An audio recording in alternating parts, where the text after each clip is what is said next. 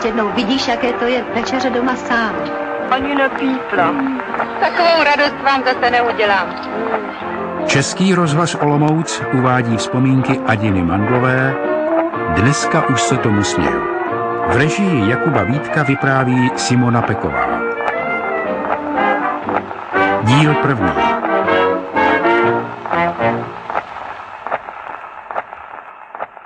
Pustoralek je osamělé bílé stavení na konci vesnice, kde když sekera vzduchem zasviští, nízkého stropu mozek docákne.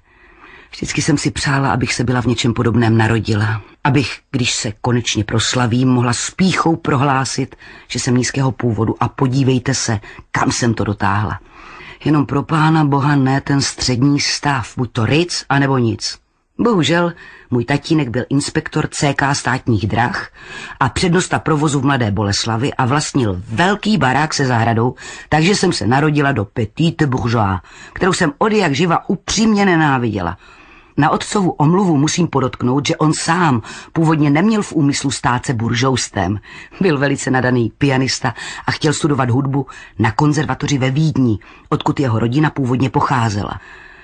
Jo, když ale dědeček umřel, nebyly peníze na tak nákladná studia a tak šel ke dráze. Udělal docela slušnou kariéru, oženil se a měl dvě děti. Když umřela jeho první žena, která byla velice hezká a inteligentní a vzdělaná, ale bohužel tuberkulózní, Jenda a Karlík potřebovali novou maminku. A jak tak jednou, jako vdovec sedí v hospodě u anglické královny, přinese mu pivo hezká dcera hostinského. Slovo dalo slovo a za šest neděl se vzali. Pro ní to byl ohromný skok do vyšších kruhů. A když jeli z kostela v najatém kočáře, vyjádřila svou vděčnost slovy. Děkuji vám, pane komisaři, že jste mě vysvobodil. to mám z jejího deníku, který jsem našla v prádelníku a tajně jsem ho četla. Tak je z jejího deníku další poznámka. Pozor, jak těžko je býtí matkou nevlastním dětem. Tenkrát jsem nemohla pochopit, co proti ním má, protože s nimi byla vždycky celkem legrace. Ale dneska, dneska je mi to jasné. Protože jsem jeden čas sama byla velmi neúspěšnou nevlastní matkou. Porodila tatínkovi Jarmilu, Anu Františku, ale to nestačilo. Pro mě se muselo najít nějaké speciální jméno a tak se našlo Adina. Neexistovalo nikde jinde, než v operetě Elixír lásky. Lidově se říká, že vymodlené děti jsou obyčejně hrozní neřádí, protože je to proti Bohu a přírodě snažit se skřížit jejich zámysly. Mám-li soudit podle sebe, něco na tom asi bude. Jako malá holka jsem byla nesnesitelná, protože mě tatínek rozmazloval. Prostě byla jsem něco extra. A tak mě tatínek vykal a kluci mě museli vykat taky. Já jim ovšem tykala. Stačilo mi ukázat na jednoho z nich, když jsem brečela, což teda bylo opravdu často, a hned dostali vejprask. Tatínkovo piano bylo v pracovně, kde všechen nábytek byl černý a kam bez dovolení nikdo nesměl vstoupit, ovšem jenom já. Myslím, že jsem tam proseděla půlku svého dětství, naslouchala jsem klasické hudbě, kterou mě tatínek naučil milovat. Když mi byly čtyři roky, začal mi dávat hodiny na piano. Byla jsem po něm hudebně nadaná, hlavně ctižádostivá. Už jako dítě jsem se ráda producírovala, tak při týdenních hudebních večírcích, kdy hrával kvartety s přáteli, měl se čím chlubit. Maminka z toho byla úplně vyřazena. Její činnost se omezovala jenom na podávání kávy, chlebíčku a likéru, ze kterých jsem si vždycky tajně usrkla. Tím jsem se ovšem matce odcizovala a čím jsem byla starší, tím více mi považovala za něco pod naši úroveň. Když mi bylo sedm a půl, tatínek se roztonal. Nejdřív to byla španělská chřipka, pak začal krvácet z nosu a krev tekla po celé hodiny. Primář řekl, že to je purpura. Krvácení se mu podařilo zastavit. Ale tatínek byl tak vysílený a srdce měl tak zesláblé, že jednou po snídaní, když jsme všichni byli ve škole, zemřel. Prostě škytl a bylo po něm. Do školy mě přišel vyzvednout dědeček a moje třídní slečna Jordánová mě přivinula na své bujné poprsí, div, že mě nezadusila a hlasem pohnutým slzami pravila. Ty můj ubohý sirotečku, ty budeš mít těžký život. A měla pravdu. Tatínkův pohřeb byl pro mě strašný zážitek. Především jsem byla plná strupů v obličeji. protože jsem dva dny před smrtí spadla ze schodu před divadlem po odpoledním představení princezny Pampelišky. Nějaká hodná holčička mě strčila. Když jsem s bratrem kráčela jako první za rakví, se běhly se moje spolužačky kolem průvodu a povykovali mandlová, mandlová, s rozbitou hubou. Mm, další incident byl rovněž velmi trapný. Maminka považovala za svou povinnost vrhnout se za rakví a jenom díky úsilí jejího bratra se jí to prostě nepodařilo.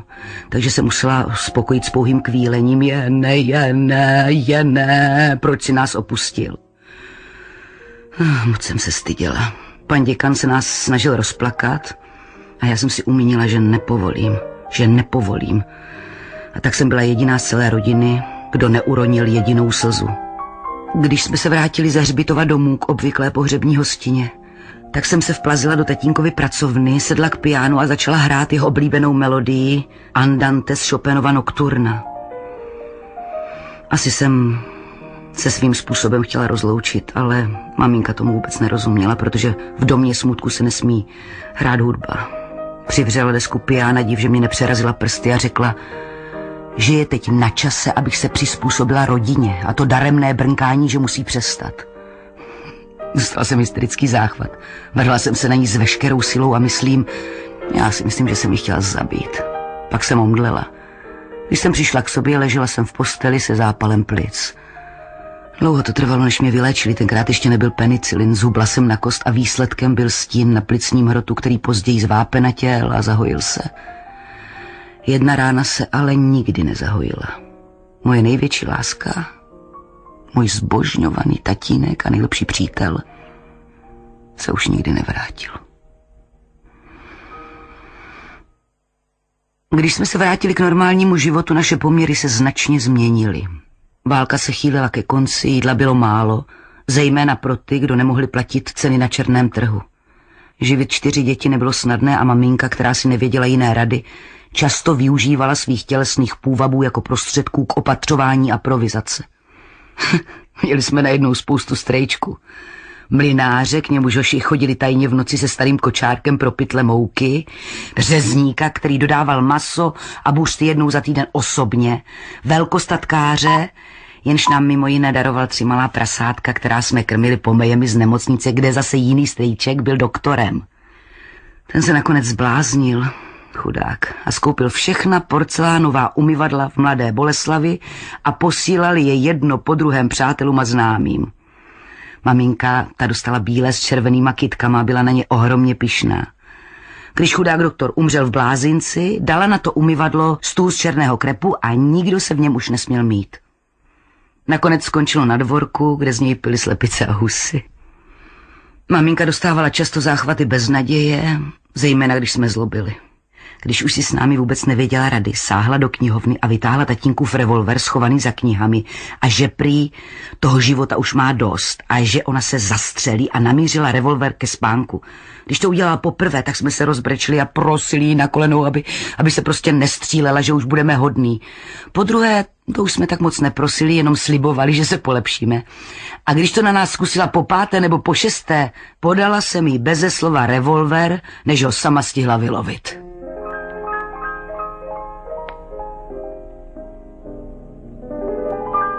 Z velké nouze jsme začali pokoje v domě pronajímat studentům a tak jsem byla jediná holka mezi třinácti kluky. A tak jsem si od dětství zvykla na společnost příslušníků druhého pohlaví a na jejich obdiv, protože postupně se všichni kluci jeden po druhém do mě zamilovali a mě to dělalo náramně dobře. Byla jsem od malička velká koketa, tak jsem mi v tom podporovala. Sama jsem však srdce nestratila nikdy. Hoši byli velmi primitivní, říkali jsme jim chrapouni, a pro nedostatek chápavosti a inteligence každou třídu většinou opakovali několikrát. Mezitím se nám vedlo tak dobře, že jsme si mohli dovolit pradlenu, posluhovačku a po velkém prošení maminka svolila k tomu, že budu mít hodiny na piano. A já se vrhla s veškerou vášní na hudbu a na pana učitele Gregora, do něhož jsem se okamžitě zamilovala. Gregor byl vysoký a štíhlý, měl zrzavé vousy a když hrál na piano, Připomínal mě tatínka, až na to, že byl poďobaný od neštovic. Měl však jednu nectnost. Dloubal se neustále v nose a škrabal v rozkroku. což mě nakonec odradilo, zejména když mě potom bral za ruce a opravoval prstoklad. Protože maminka už byla unavená z posluhování studentů, pronajala celé přízemí jednomu staviteli. A byl to vdovec od někud od Kralup, velice obyčejný, nevzdělaný ruský legionář, ale jinak hodný člověk. S maminkou si okamžitě začal poměr a tak jsme měli nového tatínka. Nikdy se nevzali. Maminka nechtěla ztratit penzi po otci, i když velmi malou. Postupně se k nám však nastěhovali se svým příšerně nevkusným nábytkem a žili spolu na hromádce až do smrti. V duchu jsem ho nemohla ani cítit. Jednak proto, že zaujal tatínkovo místo a pak, že byl strašně, ale strašně ordinér. Nikdy jsem ho neoslovila jinak než pane staviteli, ačkoliv se snažil získat moji přízeň všemožnými prostředky. Vydělával spoustu peněz, koupil automobil, najal služku šoféra, ten nás vozil na výlety, do přírody, v neděli do divadla, do Prahy. Při jednom takovém zájezdu jsem poprvé viděla Huga Háze, který byl velmi hezký a štíhlý a hrál Armanda s Andulou Sedláčkovou v dámě s kaméliemi.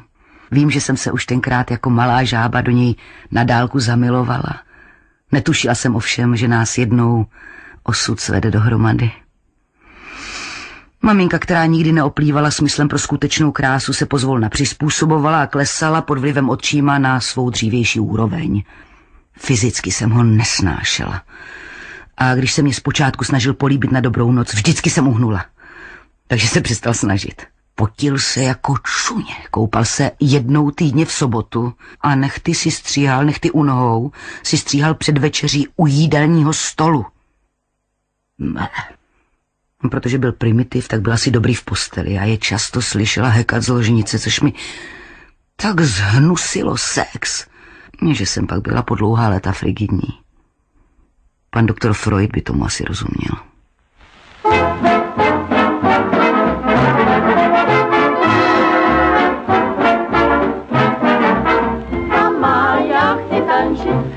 Jen činit má.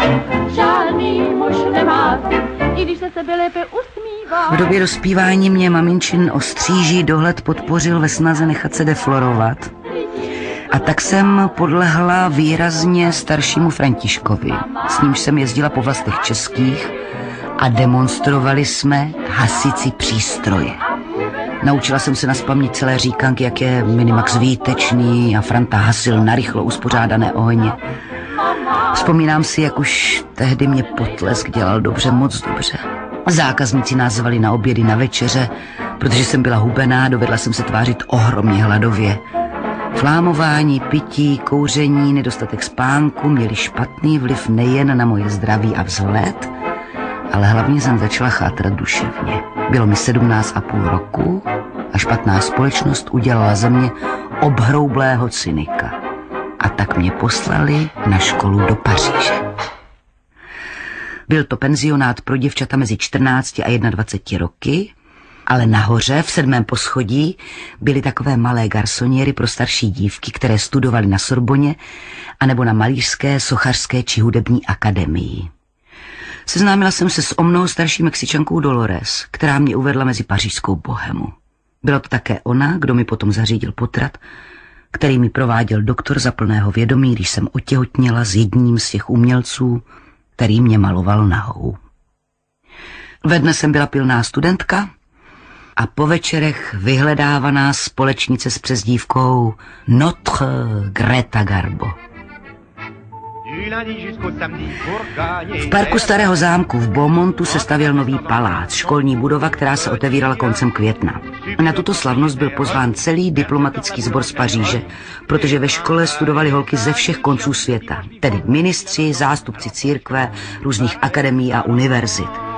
Školu slavnostně otevřel a vysvětil nějaký biskup a pak jsme se všichni odebrali k senzačnímu bufetu. Šampaňské teklo proudem, každý si pochopitelně přihnul. Mě a ostatní mládež nevýjímaje. Jeden ze správní rady podniku měl mladého hezkého syna, který už dlouho po mně šilhal a tancoval se mnou na různých večírcích pořádaných školou. Měli jsme oba v hlavě a když mě zavedl do parku, skončili jsme v trávě pod velkým stromem.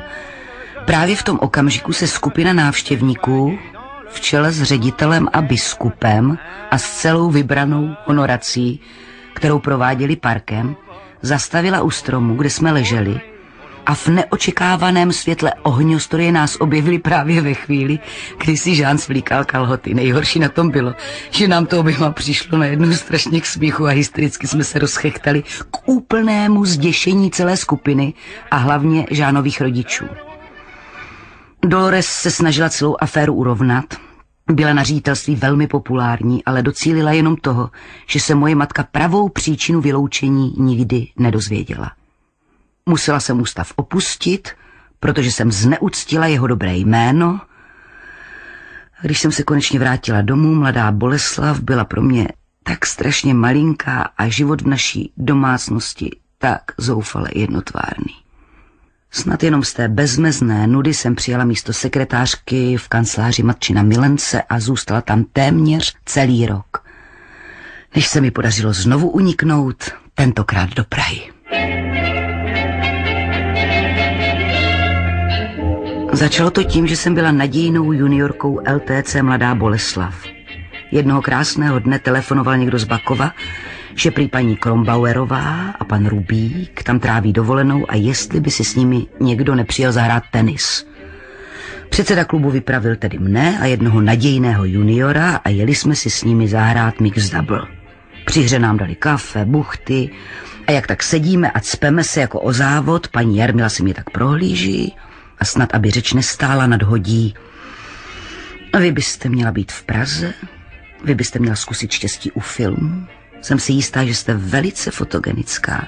Jestli máte nějaké fotky, pošlete je Otovi. On se za vás někde přimluví. Ota byl tenkrát velmi ve fóru. Právě začínal filmovat Děvčátko neříkej ne s Jarmilou Vackovou v hlavní roli.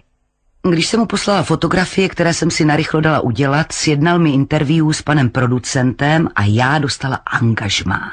Žádná role to nebyla, jenom jsem zpívala, tancovala s Jenčíkovými girls a každá jsme tam měli jednu větu. Na mě připadlo z lásky bolej v lásky. Nebyla jsem šton to ze sebe vypravit. Tolik jsem se za tu blbinu styděla. Pan režisér nějaký Medeoty boháč si zoufal. Slešínka, s vás nikdy nebude cherská. S vás nikdy nemůže být cherská. To mě ovšem tak namíchlo a tak jsem vyhrkla. Kouknou, pane režisére, než oni udělají jiný film, já budu hvězda. Ta věta mě proslavila do té míry, že se na mě začali chodit dívat jiní režiséři, třeba Rovenský, Machatý, Hugo Haas. No a ten se nakonec rozhodl, že mi dá hlavní ženskou roli ve filmu Život je pes, který napsal s režisérem Fričem. Měl jsem tenkrát najatý malý pokoj u jedné paní na letné. Házovi to bylo tuze daleko. V noci mě tam doprovázel a tvrdil, že potřebuji trénink, kterému by se mohl více věnovat, kdybych bydlela u něho. A tak jsem se nastěhovala k němu do malého bytu blízko Mánesa, kde můj trénink měl pokračovat. Zpočátku spočíval hlavně v tom, že mi s Fričem diktovali scénář, protože jsem uměla rychle psát na stroj a alespoň tak jsem si mohla zasloužit byt a stravu. To bylo ve dne. Večer pak začala moje pravá výchova a trénink pro život a umění. Vysedávala jsem denně na místě hasiče ve Stavovském nebo Národním divadle a žrala herce a herečky očima i ušima. Po divadle jsme chodili na večeři do společenského klubu na Příkopech a tam jsem poznala celou intelektuální smetánku Prahy. Chodil tam Čapek, Olga Scheinflugová, redaktor přítomnosti Ferdinand Peroutka, doktor Stránský, jeho syn Honza, Jan Masaryk, Voskovec a Verich, Karel Poláček a mnoho jiných, kteří se tenkrát počítali k výkvětu pražského kulturního života. První čas jsem dlouho mlčela. Omezovala jsem se jenom na poslouchání a jsem tam nějaké to ano prosím a podobně. Rozhodně jsem nechtěla prozradit nic ze své minulosti. Prostě jsem vystupovala jako velice naivní a neskažená dívka z malého města, která je poprvé v Praze. Později si mě všichni oblíbili pro moje suché poznámky a akceptovali mě jako novou házovou titinku. To bylo totiž jméno, které dědili všechny slečny, co chodili s házem, tedy něco jako putovní pohár. Jedna titinka přede mnou byla Ljuba Hermanová, druhá po mně házova žena Bibina a po ní mnoho slečen v Hollywoodu. neboli v holých vodách, jak říkával Poláček. S nimiž jí ház zahýbal. Mezitím házův scénář putoval od jednoho producenta k druhému a žádný jej nechtěl financovat, protože byl příliš nezvyklý a inteligentní a tak se vlastně dlouho nedělo nic. Jednou doktor Hillar, tehdy šéf Národního divadla, navrhl Házovi, že by mě vzal do Národního divadla jako elévku, ale tento kategoricky zamítl, prý budu hvězda anebo nic. Velká škoda, protože jsem se za Hillara mohla opravdu hodně naučit. Ale Hugo byl tenkrát pro mě úplný pámbu, takže jsem ho bez odmluvy poslechla ve všem. Jo, Hugo byl, Hugo byl neobyčejně žárlivý na každého, kdo měl úspěch a byl všeobecně uznáván jako umělec. Jedním z objektů jeho žárlivosti byl například Oldřich Nový, jenž byl sice angažován v Brně, ale jezdil často do Prahy a snažil se dostávat do českého filmu. Hugo sice navenek chválil a společensky se s ním stýkal, ale ve skutečnosti ho nemohl vystát, protože Oldřich byl elegantní, měl uhlazené způsoby. Zejména to uměl se ženskými. A potom byl to jeden z lidí, kteří by eventuálně mohli nahradit háze v komických hlavních rolích, pro něž se Hugo vzhledem k neustále přibývající tloušťce a poněkud vyhraněnému židovskému vzezření přestával hodit. Jiný případ, kdy mi Hugo všechno zkazil, byl Gustav Machaty. Jednou za námi přišel do společenského klubu a nabídl mi hlavní roli ve svém nejnovějším filmu Extáze. Hugo ho nejen nesnášel jako osobnost, ale nesmírně mu záviděl jeho filmové úspěchy, neboť to začínaly být úspěchy mezinárodní. A tak mě předem varoval, že jestliže tu nabídku přijmu, bude mezi námi konec. Nesmím prý začít filmovou kariéru ve filmu, kde hlavní představitelka je nahá a má choulostivé milostné scény. Pamatuji se, že se tenkrát většina Hugových přátel proti Gustavovi spikla a snažili se ho zesměšnit, ačkoliv on byl velice nadaný. Když ho jednou hecovali a obvinovali ze lži a přehánění, prohlásil, já že lžu, já, takový fanatik pravdy. Načež psychiatr doktor Wiener se na něj obrátil se slovy, jestli vy jste fanatik pravdy, pak Gandhi je kasař. Hm. Tím skončilo moje vyjednávání o roli v extázi a tím taky moje snad největší životní šance. Z Hedy Kislerové, která roli nakonec dostala, udělal ten film velkou mezinárodní hvězdu, takže skončila v Hollywoodu jako Hedy Lamar. Často si myslím, že kdybych byla dělala celý život pravý opak toho, co mi radili moji milenci, byla bych na tom bývala mnohem líp. Adinko,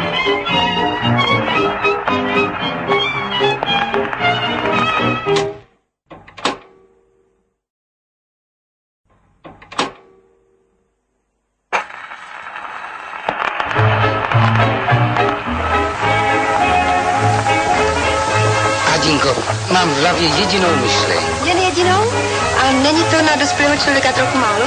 Budu tě nosit celý život na rukou. Vážně? Přísahám. No, já ti něco řeknu. Já to neriskuju a budu chodit raději pěšky. Adinko, mluvme vážně. Myslím tady vážně. Viktore, jsi moc rostomilý chlapec. Zůstaneme dobrými kamarády, ale nikdy si tě nevezmu. A proč ne? Tomu nerozumím. Nerozumíš? Tak o tom chvilku přemýšlej, možná, že na to přijdeš. Ale teď už se musím převléknout. Naschledanou zítra. Naschledanou zítra. Český rozhlas Olomouc uvádí vzpomínky Adiny Mandlové Dneska už se tomu směju. V režii Jakuba Vítka vypráví Simona Peková. Díl druhý.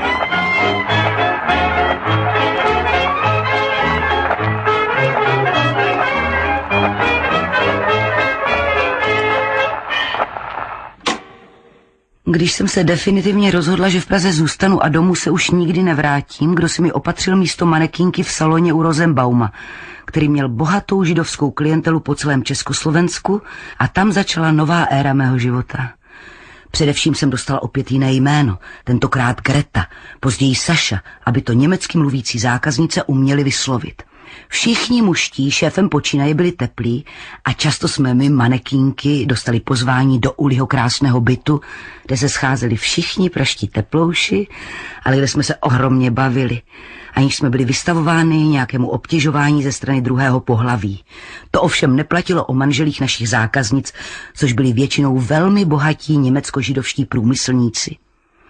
Uli Rosenbaum pro mě navrhoval všechny šik večerní kráce, že jsem byla hubená a proto výtečný věšák na šaty. Brzy ze mě byl velmi populární model jak u zákaznic, tak u jejich manželů. Ti se často snažili umluvit si rande se Sašou. Hugo byl proti mému novému zaměstnání velmi zaujatý. Byl to velký snob. A když si ho sekretář ve společenském klubu jednou vzal stranou a žádal ho, aby sem tu manekinku nevodil, snažil se mě přemluvit, abych to místo opustila. Už to mezi námi neklapalo, alespoň fyzicky.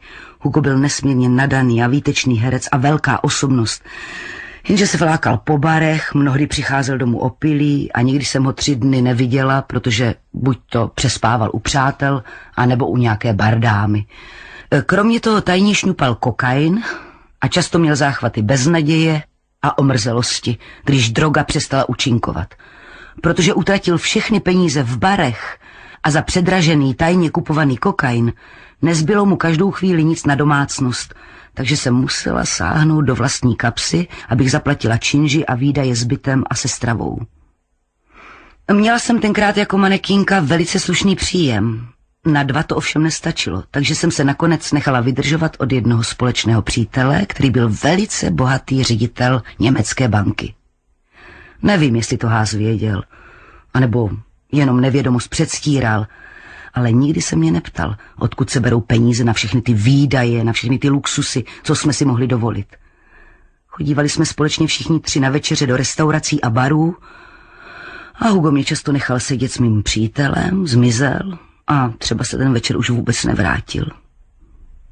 Přestali jsme spolu spát, protože tvrdil, že je neurastenik, že se nemůže pohlavně vzrušit, jenom když střídá milenky. A tak jsme žili v jedné domácnosti jako dva svobodní mládenci a každý jsme si šli svou vlastní cestou. Měla jsem sice milence, ale duševně jsem byla k Házovi připoutána a nějak jsem si nedovedla život bez něho vůbec představit. Pokud šlo o sex, Ház nikdy na nikoho nežárlil. Byl příliš zaměstnaný svou vlastní důležitostí. Tak jsme mi ženské flámovali v Garsonce kamarádky Bertičky, která byla lesbičanka, chodila tam taky Lída Bárová, Luba Hermanová, několik jiných hereček a manekínek. Jednou, když jsme byli sami jenom tak mezi námi děvčaty, někdo přinesl balíček s kokainem a všechny jsme to vyzkoušeli. Věděla jsem, že Lída i Liuba si to sprubli už předtím a že to na ně mělo správný účinek, nebo je to povznášelo a inspirovalo k lepšímu výkonu. Naštěstí na mě to působilo opačně. Nejdřív mi zdřevěněla huba, takže jsem nebyla schopna vůbec promluvit. Pak se mi zatočila hlava a nestačila jsem utíkat do koupelny.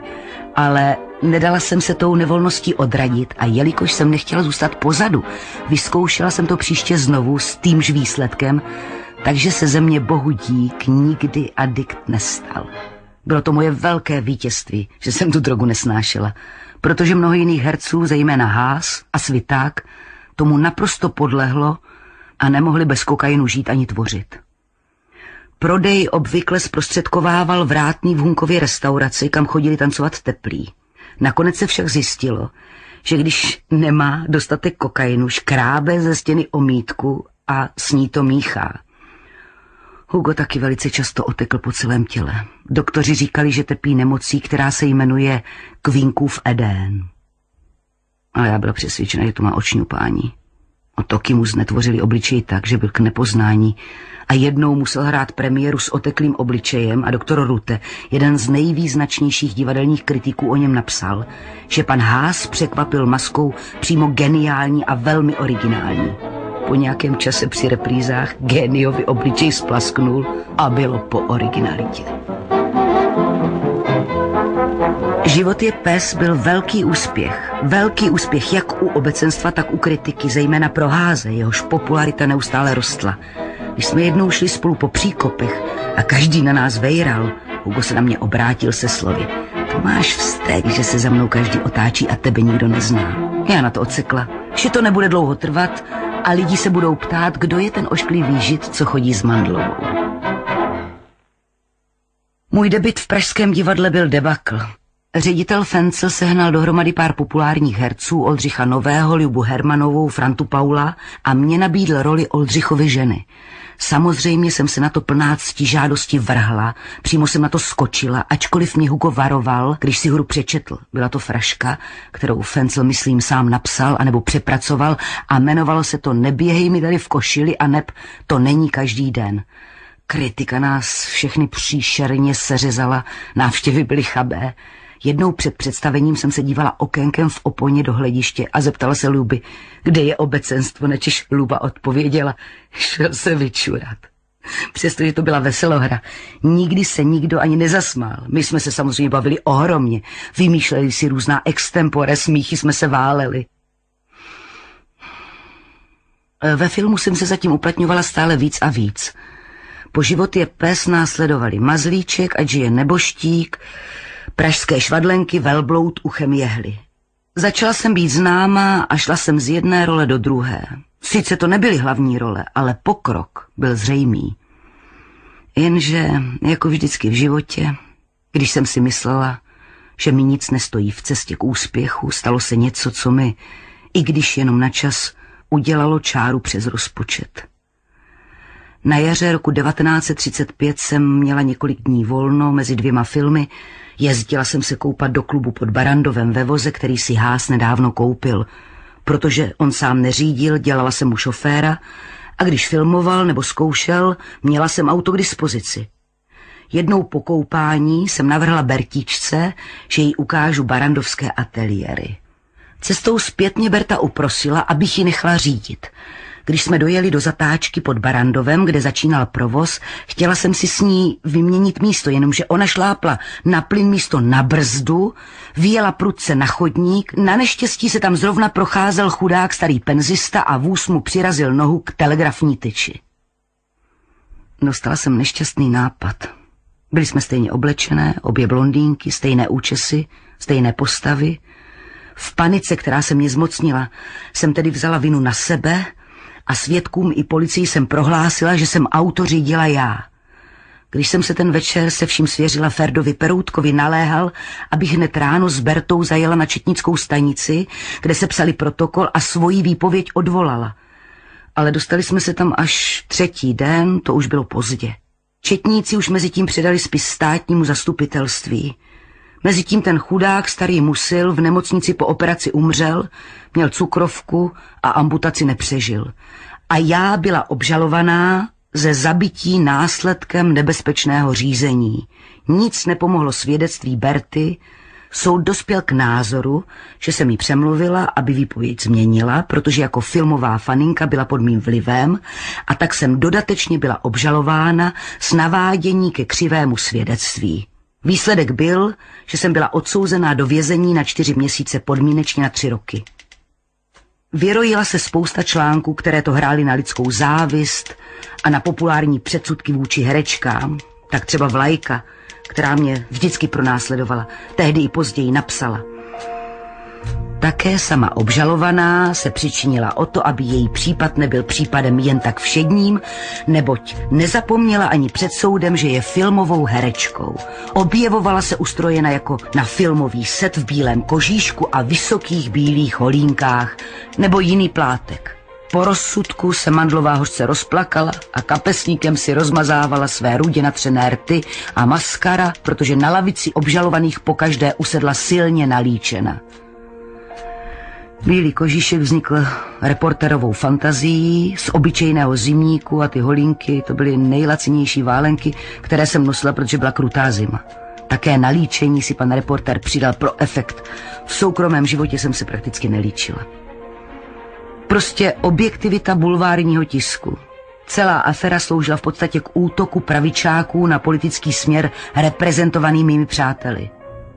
Pro mě svědčil Peroutka, Verich, doktor Herben, Haas a Oberlander byli židi. Těžko se tedy divit, že na mém případě si smysli všichni, všichni antisemiti. Kromě všech urážek jsem byla také na čas úplně vyřazena z filmové práce, protože veřejné mínění bylo proti mně a žádný, žádný producent si mě netroufal obsadit.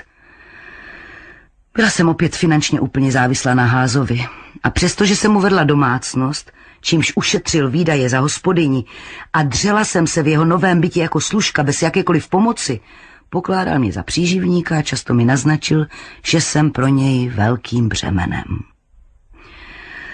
Proto jsem měla dvojnásobnou radost, když mi konečně napsal roli do filmu Mravnost nade vše, kde se mohla uplatnit svůj talent pro komiku v sympatické roli ošklivé kachničky, z níž se nakonec vyklube hezká a pomilování hodná dívenka.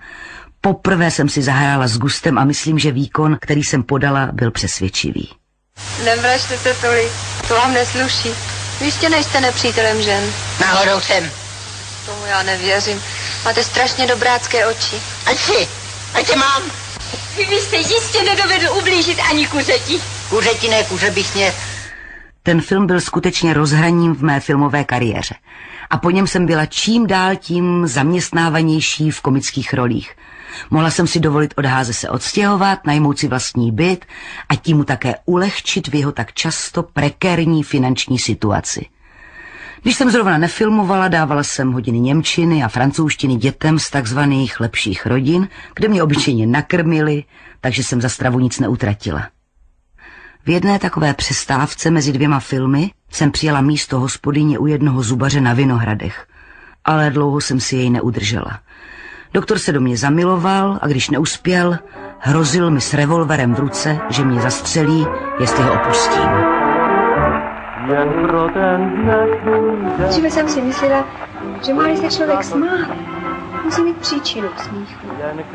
A má plakat, musí mít příčinu k pláči. A teď, teď bych se mohla smát, nebo plakat jen pro něho. Jen kvůli němu. Není to krásné. Ne, totiž vlastně ano. Je to krásné. A pak měl premiéru Kristián s Oldřichem Novým v režii Friče. Oldřich přišel do Prahy z Brna, kde měl výtečné jméno jako herec i režisér, ale v Praze nemohl zpočátku zabrat. Udělal několik filmů, byl v nich velmi dobrý, jenže náměty byly pod jeho úroveň.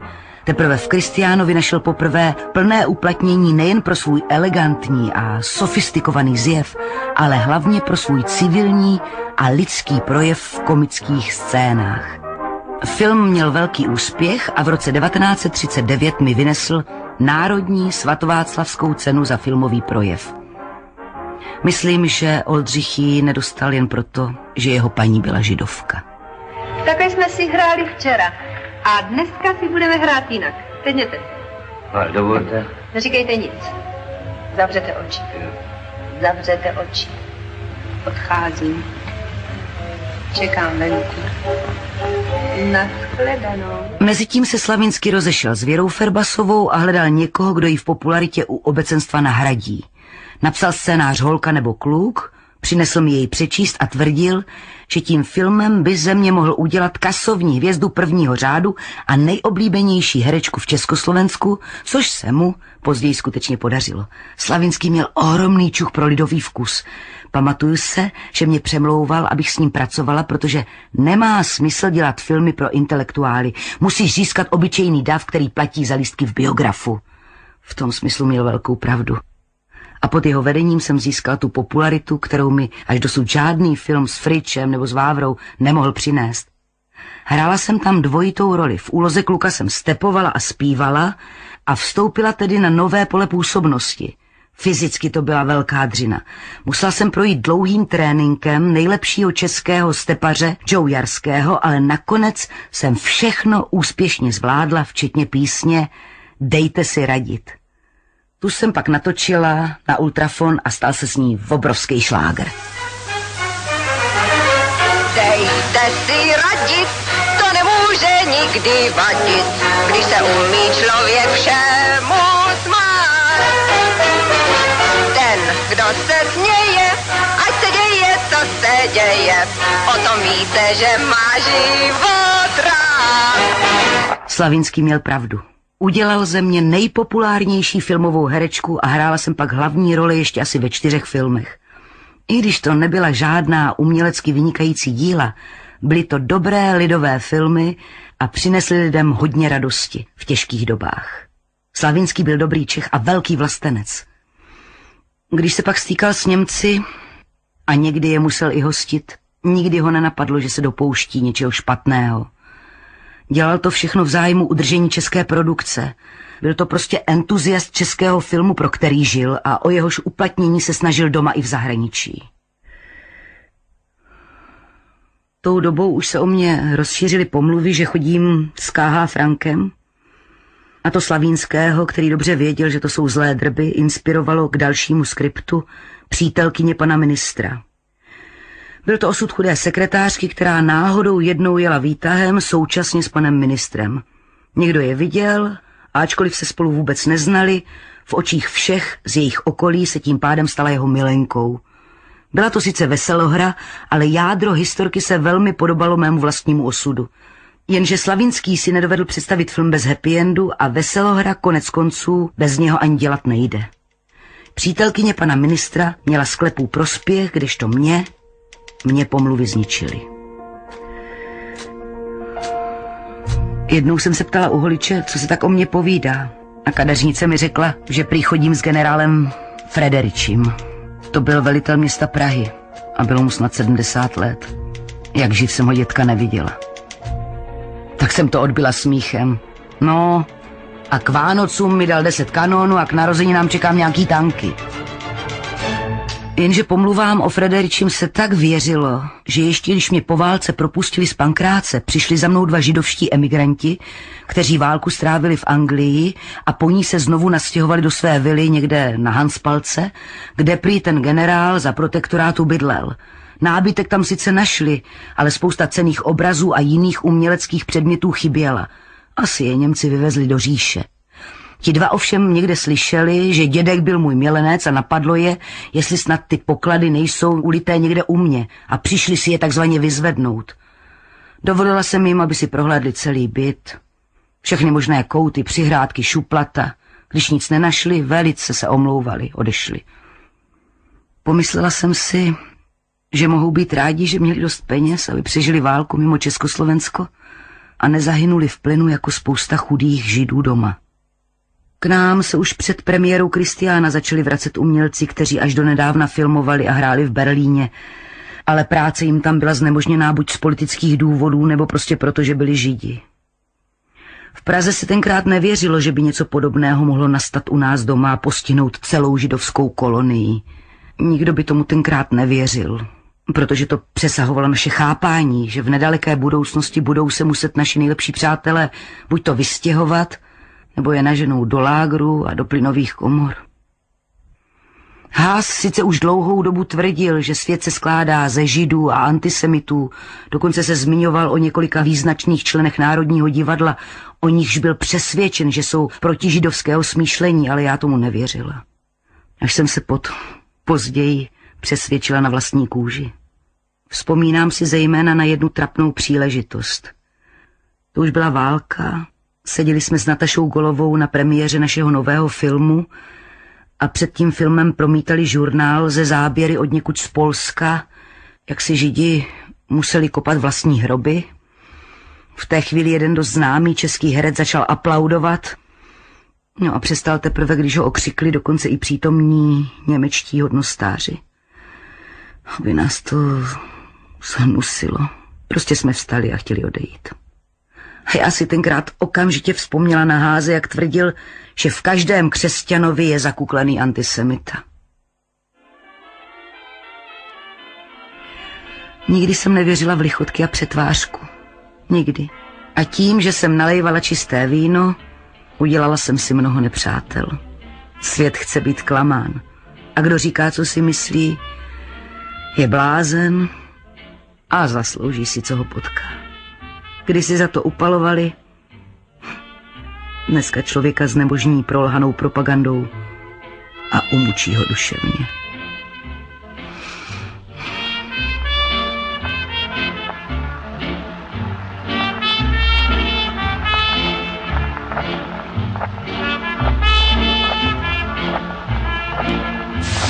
někoho namluvit, tak to dokážu i bez tebe. My Joši z velkoměsta přece víme, jak na to máme jít, ne? Měl jsi už mnoho děvčat? Já? Tucty. I střílete kvůli mě chtěli. Jenomže mě už to unavuje a už na to taky nemám ty nervy. Bože, vaše oči září jako dvě nádherné hvězdy. Přímo magicky. Už to magicky to musíš nadnést, protože to s děvčatům líbí. Prosím vás, nedívejte se na mě. Ztrácím poslední špetku rozvahy. Miluji vás. Odmítnete-li mne, vstoupím do cizinecké legie. Oh, ve vašich očích slzy. Slzy štěstí. Vy mě tady milujete. Nemohu déle váhat. Věříš, že bych se do tebe mohl zamilovat? To bys vlastně mohl. To bych ti potom musel vyznat lásku, viď? Hmm, to bys třeba ani nemusel. Možná, že bych ti to poznala na očích, jak mě šíleně miluješ. To by bylo lepší, protože já nerad moc mluvím. Mám raději skutky. Dobroči ne? Dobročinnosti se meze nekladou.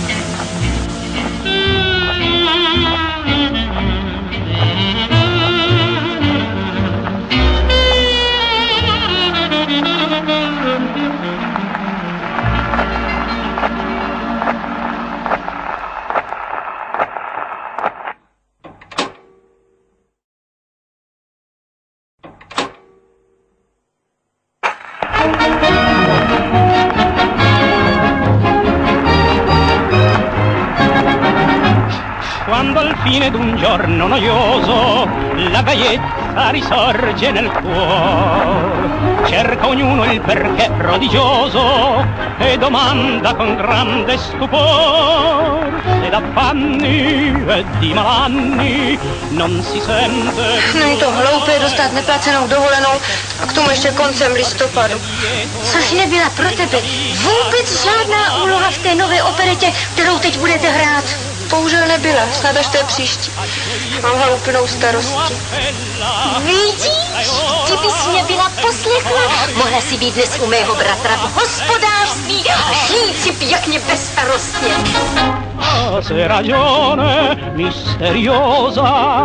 Český rozhlas Olomouc uvádí vzpomínky Adiny Mandlové Dneska už se tomu směju. V režii Jakuba Vítka vypráví Simona Peková. Díl třetí. Moje začátky na divadle byly velmi neslavné. Dostala jsem do vínku mnoho darů, které jsem dokonale využila. Atraktivní zjev, inteligenci, osobnost a talent. Dlouho jsem si plně neuvědomovala, že s těmito dary je spojena zodpovědnost.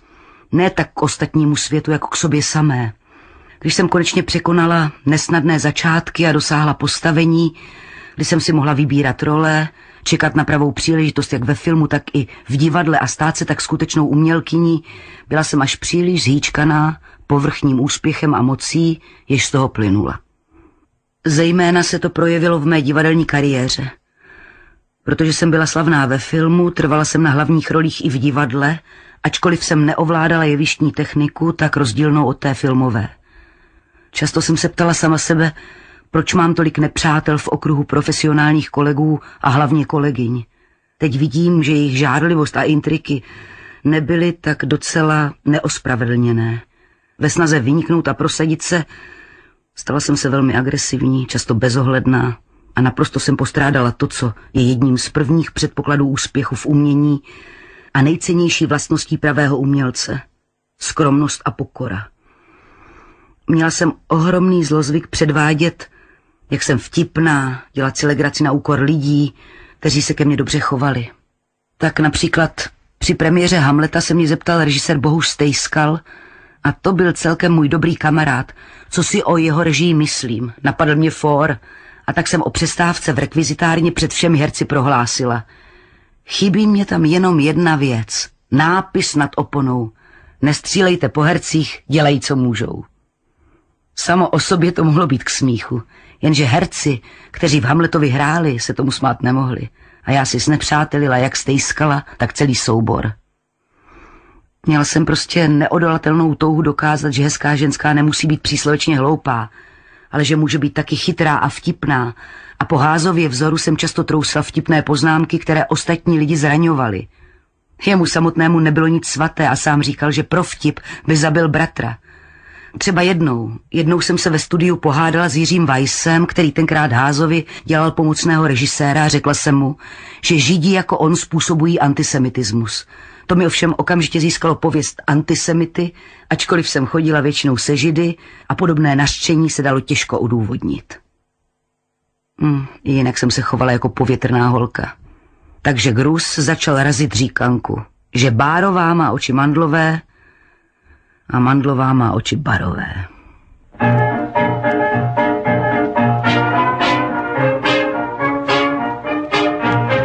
Moje první vystoupení v komorním divadle v Moudré Penny byl sice kasovní úspěch, protože každý chtěl vidět Mandlovou, ale kritiky byly chaboučké.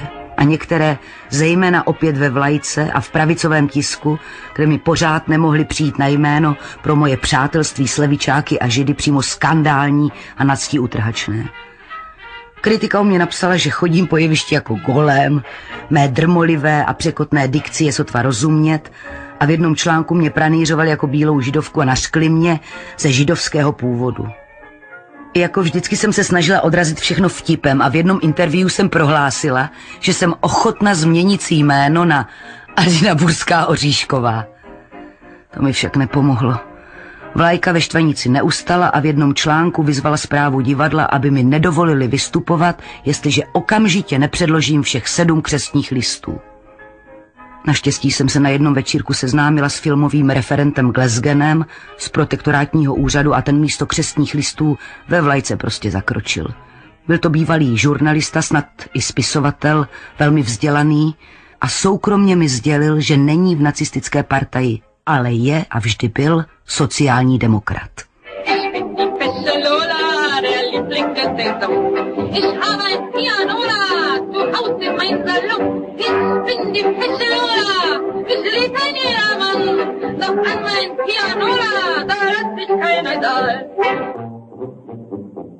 Mezitím Němci převzali vedení Barandova, nasadili tam Prague film, který rozhodoval o všem, co mělo jít do výroby.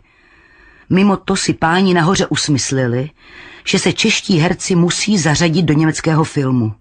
Vybrali nás deset, nevím přesně koho. Pamatuji si jenom, že jsem to byla já, Nataša Štěpničková, Hanka Vítová, Zita Kabátová a několik mužských představitelů, prostě kdo uměl německy. Nikdo z nás to nebral vážně a nijak jsme se o filmování v říši nezajímali.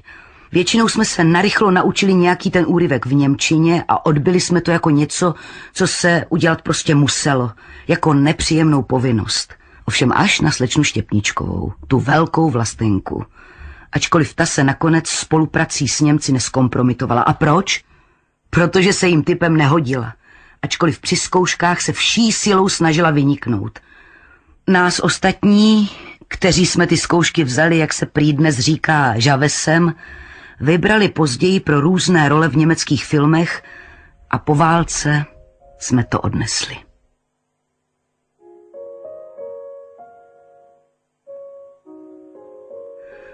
V nočním motýlu jsem chtěla původně hrát hlavní roli, ale do té obsadili Hanku Vítovou a tak po dlouhém přemlouvání jsem přijala roli druhou, když mi Krška i Čáp dali svolení, že si smím svoje scény rozpracovat a připsat si sama nové dialogy i monology. Už od začátku bylo zřejmé, že druhá polovina filmu, kde teprve jsem se objevila já, bude ten velký úspěch, co se od nočního motýla čekal – Hanka byla sice výtečná, stejně tak i celý soubor, ale lidi se bavili nejvíc mou postavou a hlavně scénami, které jsem si sama napsala. Film měl ohromný úspěch a já jsem sklidila velkou chválu už při první premiéře na filmových žních ve Zlíně.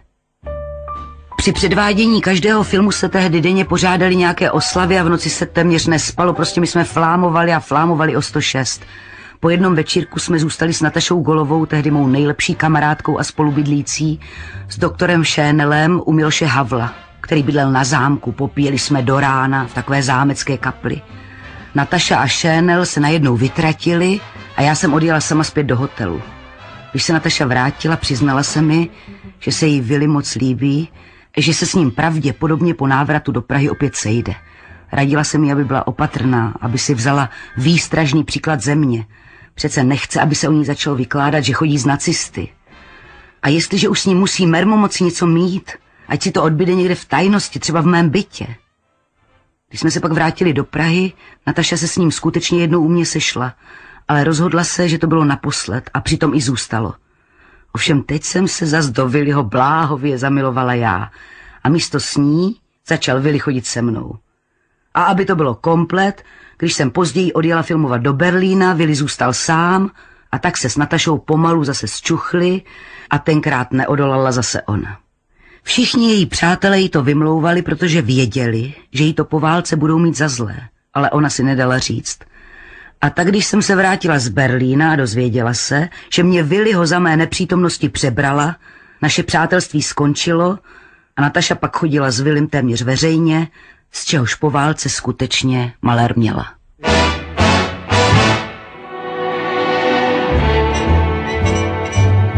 Ve filmu jsem tehdy byla velmi úspěšná, ale mým tajným snem a touhou zůstávalo divadlo. Po nočním motýlu jsem si role i honoráře mohla diktovat a měla jsem začít zkoušet novou hru, když jsem dostala nabídku dělat německý film v Berlíně s Heinzem Riemanem. Nějak se mi do toho nechtělo, dokonce jsem si narychlo podepsala smlouvu s Lucerna filmem, abych prokázala, že prostě nejsem volná. Poslali za mnou do Prahy šéfa Terafilmu, jistého Alfa Tajše, který mě měl přemluvit, ale odjel s nepořízenou. Mandlová nemá čas. Ale když se do Prahy vypravil Riemann osobně, získal mě svým neobyčejným šarmem a tím, že tvrdil, že film je naprosto nepolitická a neškodná veselohra a moji budoucnost v českých filmech neohrozí. Nimm dich in Acht vor blonden Frauen. Sie haben so etwas. Když jsem odjížděla do Berlína, šla mě na nádraží vyprovodit spousta přátel, mezi jinými i docent Kliment a protože jsme všichni byli pořád vtipní, prohlásil. Ztrácíme dvě hvězdy. Jedna odjíždí do Berlína a druhá tady v Praze pukne steky. Tím myslel Bárovou která se po předválečné aferě s Goebbelsem musela vrátit do Prahy, nebo tí vystupování v německém filmu z nařízení Hitlera zakázali. V Berlíně mě ubytovali v hotelu Eden a zacházeli se mnou jako s velkou mezinárodní hvězdou. Moje role byla celkem bezvýznamná a nenáročná, přestože to byla hlavní ženská role. Ale jak už to bývalo u nás, když člověk točil třeba s Vlastou Burianem, i ve filmu s Rýmanem byly veškeré vtipy a situační komika napsány na něho a všechny ženské mu jenom přihrávali. Takže jsem si připadala jak ta slečna, co pomáhá kouzelníkovi, aby mu všechny triky dobře vyšly. Atmosféra v ateliéru byla úplně jiná než u nás. Na všechno se šlo vědecky, ze všeho se dělal ohromný problém. Film byl veselohra, ale nikdo se nesmál. Všichni se tvářili, jako by vyráběli Bůh ví jakou vážnou tragédii nebo psychologické drama. Když jsme měli film asi tak napůl roztočený, dostavil se do ateliéru doktor Hippler, tehdy jakožto státní intendant Goebbelsova pravá ruka. Zavolal si mě stranou, oznámil mi, že si musím na příkaz zůry změnit jméno, že koncovka ovázní příliš slovansky. Bránila jsem se tomu a Hitler odešel s nepořízenou. Asi za týden přijel do ateliéru znovu, tentokrát s pozváním na večeři do Goebbelsova soukromého apartmá u Brandeburské brány.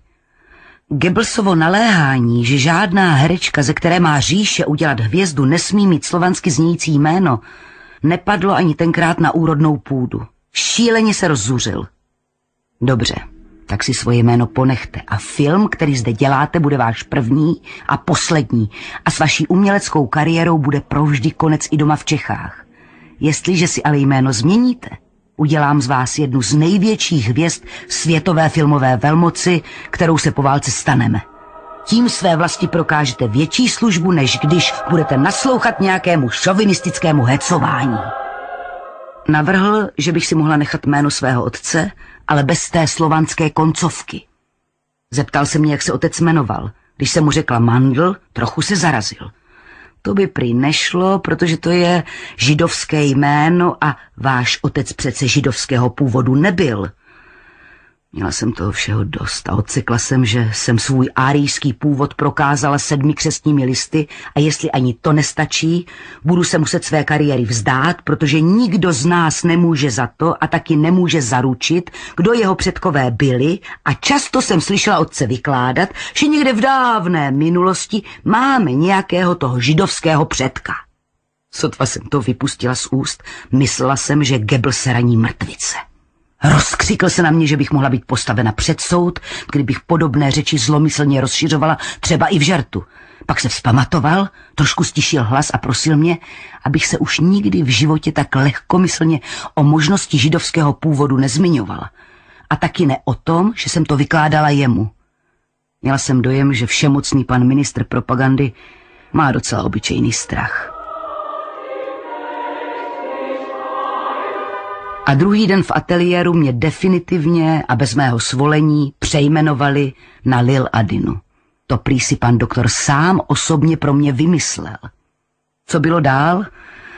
Co bylo dál, o tom píše ve svých pamětech sám doktor Hitler. Ale najednou se zvedne velká bouře v úřadě německého protektora v Praze. Herr Státminister für Böhmen und Mähren K.H. Frank se cítí hluboce dotčen.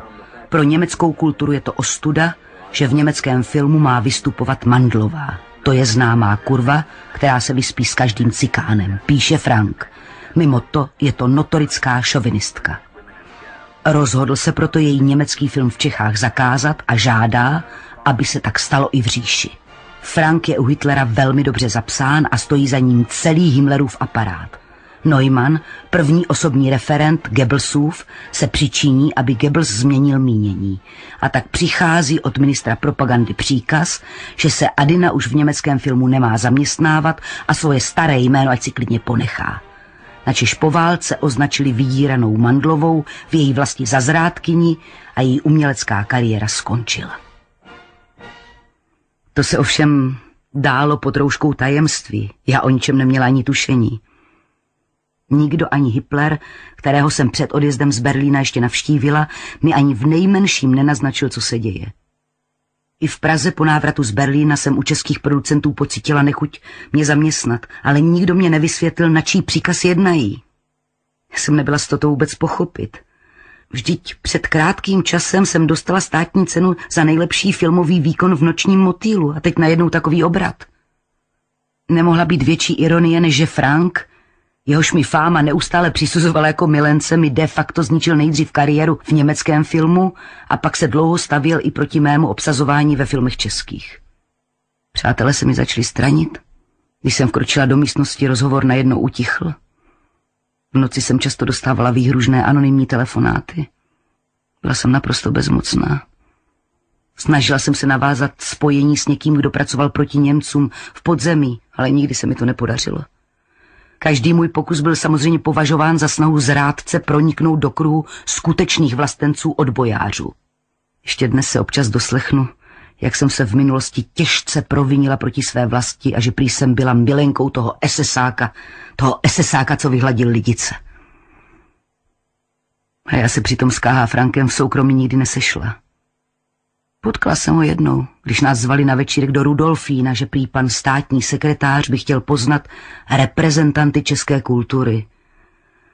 Napadlo mi, že jim aspoň budu moci dokázat, že se s ním neznám, když mu budu společně s ostatními představena. Bylo mi doporučeno, abych si přisedla ke stolu, kde byl Frank a členové vlády, protože mluvím velmi dobře německy a zábava, že tam vázne. Po chvilce všichni přítomní rozvázali díky alkoholu, kterým se při žádné z oficiálních příležitostí nešetřilo a brzy téměř každý, každý, kdo měl ruce a nohy a uměl něco zaspívat, zatančit nebo zarecitovat, byl připraven našeho nejvyššího nepřítele bavit. Když se rozjaření členové vlády v čele s ministerským předsedou Krejčím dali do zpívání českých a moravských písniček, obrátil se Frank na mě s návrhem, že bych měla přimět ministra Moravce, aby taky on dal něco k lepšímu. To byl totiž jediný ze všech zúčastněných, který tam seděl jako zařezaný, nepil a za celý večer nepromluvil ani slovo. Navrhla jsem, že by měl zaspívat známou Schubertovu píseň I já byl mladíčkem s kučerami. Moravec měl hlavu holou jako koleno a já si z něj chtěla udělat psinu, což se mi taky podařilo. Vláda se válela smíchy, ale Moravec mi to nezapomněl. Později mě dokonce udal gestapu, prý ty pomluvy o sobě a Frankovi rozšiřuju sama, abych se udělala zajímavější. Příčinu k tomu udání mu zavdal opět můj nešťastný sklon k ironickým odpovědím, které tam ovšem každý pochopil. Ne tak holohlavý ministr kultury. Na jednom filmovém plese v Lucerně, kde jsem seděla vedle něho, se zeptal velice netaktně, jak je to vlastně se mnou a s tím Frankem. A já mu odpověděla, no přece mu nepoložím sluchátko, když mě denně telefonuje. Asi za týden na to přijel do ateliéru gestapácký vůz a odvezli mě k výslechu do pečkárny. Sám šéf gestapa mi kladl na srdce, že se už nesmím nikdy ani slovem o Frankovi zmínit, protože panu státnímu tajemníkovi to je velice trapné, když se jeho jméno spojuje s mým. Bylo prýmu z jistého věrohodného pramene důvěrně sděleno, že na rozšiřování pomluv mám podíl já sama, protože jsem se chlubila jednomu hodnostáři, že mi Frank často v noci telefonuje a pan státní tajemník je velmi, velmi rozhorčen. Musela jsem podepsat prohlášení, že udám každého, kdo by ke mně s podobnou pomluvou přišel a sama se přičiním, aby se nic takového nadále nerozšiřovalo. Ale abych se vrátila k tomu smutně proslulému večírku v Rudolfinu. Když se konečně všichni vlastenci dokonale vyproducírovali a Zdeněk Štěpánek pronesl k Frankovi celkem přátelskou řeč, kvůli níž mu po válce všichni, včetně těch, kdo tam tenkrát popíjeli, nemohli najednou přijít na jméno, rozpoutalo se všeobecné veselí a mnoho herců, kteří si rádi zadarmo přihnuli, se nezachovalo zrovna důstojně. Například úplně stětý Bedřich Veverka si v jednom momentě sedl Frankovi na klín, objal ho a ujišťoval, že proti tomu nebude vůbec nic mít, když mu Herman bude říkat Fritz a jenom úsilím inženýra Zankla se ho podařilo od Franka odtrhnout. Frank měl zřejmě už všeho dost, myslím dokonce i toho pití, vstál a ještě před rozloučením podotkl, že s paní Mandlovou mluvil hlavně o Vinohradském divadle a že doufá, že naše rozmluva nedá podnět k různým dohadům. Jo, a tím skončilo moje první a také poslední setkání s mým milencem.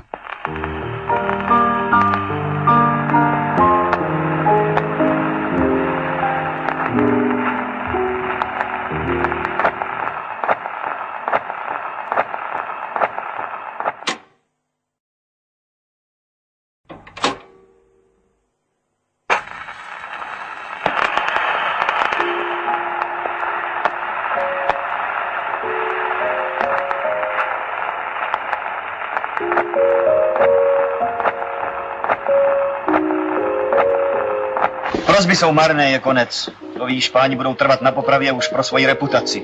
Proto tak spěchají. Kutnohorské paničky se ani dočkat nemohou. Schánějí parádu jako divé, jen aby se mohli Ale ukazovat. vždyť je to vražda. Jediná věc by mohla pomoci. No? Přátelé, rychle, vyprázdněte své měšce. Vy každý, co máte, vždy, vždy, vždy jde o záchranu člověka. Tady je 50 dolarů. No. Já mám 30 dolarů. Já deset všeho všude. A já pět. To nic seženeme dosta. Rozino, chtěla by si udělat něco pánům konšelům na zlost? A jak ráda. Bez toho mají u mě pořádný vroubek. Půjdeš ke Katovi.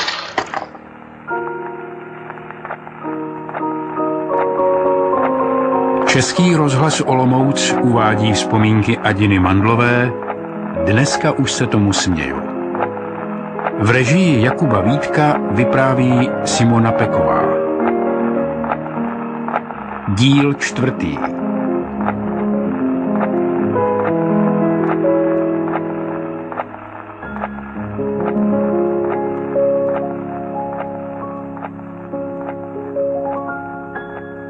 V roce 1942 bylo Vinohradské divadlo stále ještě zavřené, nic nenasvědčovalo, že by se mělo v dohledné době otevřít.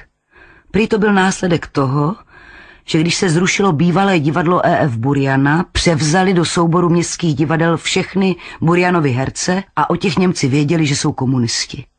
Jednou jsem se ve vile u Miloše Havla seznámila s německým divadelním referentem protektorátní kanceláři doktorem Emkem. Měla jsem s ním dlouhý rozhovor o Vinohradském divadle a když mi naznačil, že on by se z titulu svého postavení mohl o znovu otevření divadla přičinit, usmyslela jsem si, že se ho k tomu nějak pokusím přimět. Byl ze mě zřejmě víc než vedle a věděla jsem, že bych u něho mohla hodně docílit a tím být české věci alespoň takhle prospěšná a snad se i trochu rehabilitovat. M ke ze mě byl hotový. A když mi jednou zavolal, pozvala jsem ho k sobě do bytu. Předtím mi naznačil, že je perverzní a sice masochista. Nalila jsem do něj spoustu koněku a on mi pak v opici podepsal dopis, který jsem mu nadiktovala, že divadlo bude otevřeno a to bez jakýchkoliv persekucí členů souboru. Teprve pak jsem mu vyhověla v jeho masochistické choutce asi víc než chtěl. Střískala jsem ho jezdeckým byčem tak, že se druhý den nemohl posadit. Hned ráno jsem sebrala dopis s jeho podpisem, odvezla jej řediteli Říhovi do divadla, ten psaní zavřel do nedobytné pokladny a já se vypravila k Emkemu do kanceláře. Tam jsem prohlásila, že nesplní svůj slib, snemožním ho u Franka tak dokonale, že bude mít po kariéře. Byla to nechutná záležitost, ale protože Emke taky z části věřil pomluvám o mě a o Frankovi, dostal strach a moje vydírání mělo úspěch. Zanedlouho Vinohradské divadlo mohlo zas otevřít a já a doktor Říha jsme věděli, co způsobilo tu náhlou změnu. Po válce mi ovšem vyčítali, že jsem se o otevření divadla přičinila jenom proto, abych tam sama mohla vystupovat. Ale nebyla to pravda. Moje premiéra byla až třetí v pořadí a hrála se tam jenom proto, že velké jeviště se líb hodilo k inscenaci Pirandelových šesti postav, které pro mne vybral režisér Jernek a šéf činohry Plachý, což byl můj nejlepší jevištní výkon a vlastně vrchol mé kariéry.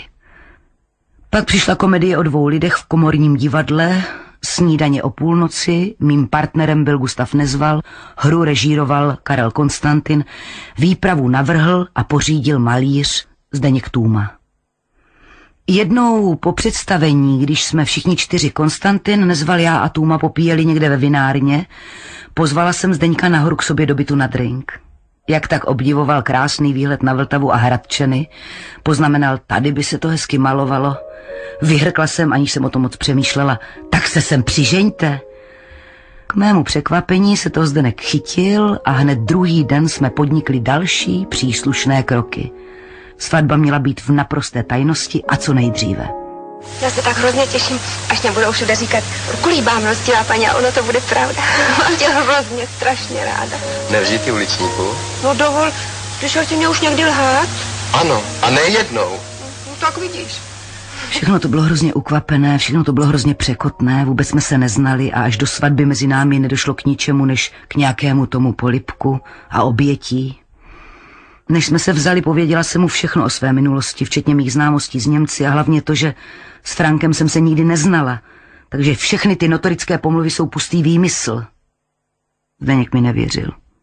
Byl to přesvědčený komunista a věděl, že když se vezmeme, riskuje mnoho u svých partajních přátel – ale byl už tehdy do mě zamilovaný, nedal se ničím odradit. Do Zdenka jsem nikdy nebyla zamilovaná, nikdy. Možná jsem na snědku s prokomunistickým umělcem jen chtěla demonstrovat svoje národní cítění a rehabilitovat se v očích kolegů.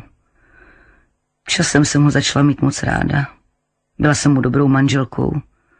Snažila jsem se vytvořit hezký domov. Najala jsem si vedlejší místnost ve stejném poschodí Zařídila jsem mu tam studio, začal jsem zvát lidi, kteří by si mohli dovolit koupit jeho obrazy. Mezitím, protože jsem pro tu záležitost mezi Frankem a Goebbelsem pořád ještě nefilmovala, jsem se od Zdenka učila základní techniku malířského umění.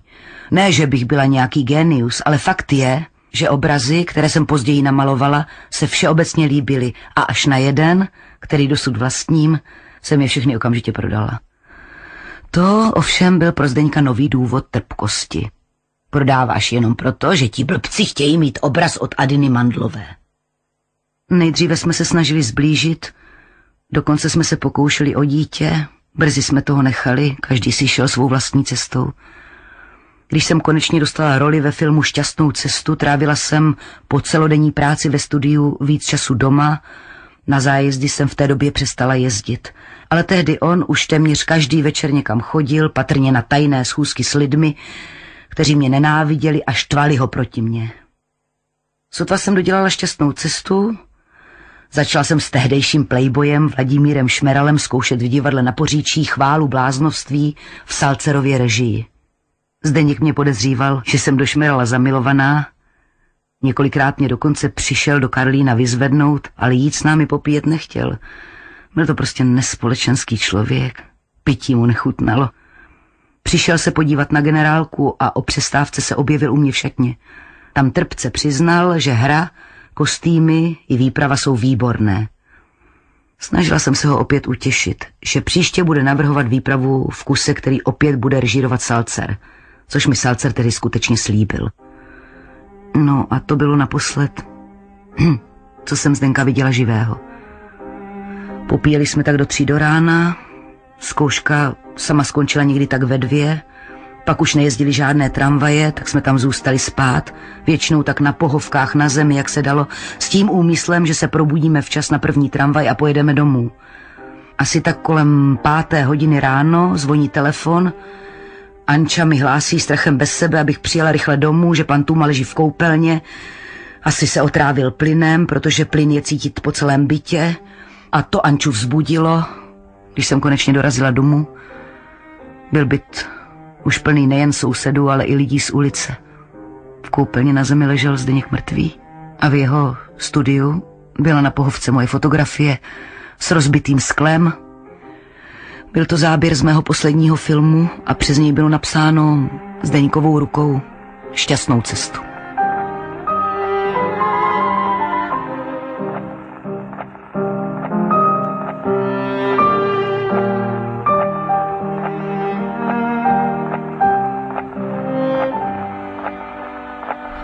Po nějakém čase se moje jevištní souhra se Šmeralem proměnila v něco, co bychom nebyli mohli docílit, kdyby mezi námi neexistovalo určité zpříznění. Stali se z nás milenci. Vladimír byl ženatý se židovkou, takže jsem chápala a přijímala jako samozřejmost, že se nikdy nebudeme moci vzít, protože kdyby ji opustil, okamžitě by ji zatkli a poslali na smrt protože podobná manželství musela být skutečná, nejen tak na oko. Musel se Vladimír tedy každou noc vracet domů, aby mu nemohli dokázat, že spí někde jinde a jeho manželství je jenom formalita. Zbožňovala jsem ho nejenom jako herce a partnera, ale považovala jsem ho za nejzajímavějšího muže jak po stránce duševní, tak a to hlavně po stránce tělesné. Časem jsem se na něm stala naprosto sexuálně závislá. Život bez ní jsem si prostě nedovedla představit. Poznenáhlu mě v rozhovorech nenápadně získal i pro své politické přesvědčení a když mi jeho přátelé začali důvěřovat, často je překvapovala změna, jaká se se mnou stala. Byla jsem najednou přesvědčená komunistka, nijak jsem to neskrývala, ani před svými bývalými přáteli, kteří byli pochopitelně největšími odpůrci komunismu. Dokud jsem byla tělesně a duševně zcela pod jeho vlivem, podrobovala jsem se naprosto všemu, co uznával on. Když jsem poznala pravdu a zjistila, co skutečně bylo za jeho vztahem ke mně, zatvrdila jsem se proti němu a proti všemu, co jemu bylo svaté, jestli se tomu vůbec tak dá říkat. Protože jsem poznala, že opravdovému komunistovi není svaté nic. Rodina, přátelé, manželka, děti. To všechno, to všechno musí ustoupit zájmu strany a jejímu prospěchu nesmí žádný osobní vztah stát v cestě. Marie Stuartovna byla moje poslední jevištní role, protože krátce potom se česká divadla zavřela na dobro. Ale čekala jsem Šmeralovo dítě. A dlouho bych stejně hrát nemohla. A tak jsem žila jenom pro něho a pro toho tvora, který měl vyplnit můj budoucí život – Věděla jsem, že po válce budu mít zpočátku nepříjemnosti kvůli stykům s Němci a filmu, který jsem natočila v Berlíně, ale jinak jsem měla čisté svědomí. A nikdy jsem si nemyslela, že budu trestána za něco, co jsem nikdy v životě neudělala. Vladimír, který byl ovšem velmi dobře informovaný, měl velké obavy z budoucnosti, pokud šlo o mne a naše dítě a dělal plány, že až se dítě narodí, schová nás oba na čas u svého bratra, kde přežijeme revoluci, o níž tvrdil, že bude krvavá. Pak ale dostal předvolání, protože všichni muži, kteří jsou poloviční židi anebo ženatí se židovkami, budou transportováni do různých koncentračních táborů. Snažila jsem se všemožně, aby ho z transportu vyjmuli, dokonce jsem se pokoušela o audienci u Franka, ale místo něho mě přijal jeho pobočník, který mou žádost velmi zdvořile, ale jasně zamítl slovy. Jestliže věříte ve vítězství Německa, nemáte se čeho bávat, vám a vašemu dítěti se nic nestane. A jestli se pan Šmeral chce z transportu dostat, ať se dá se svou židovskou ženou rozvést a všechno bude okamžitě v pořádku.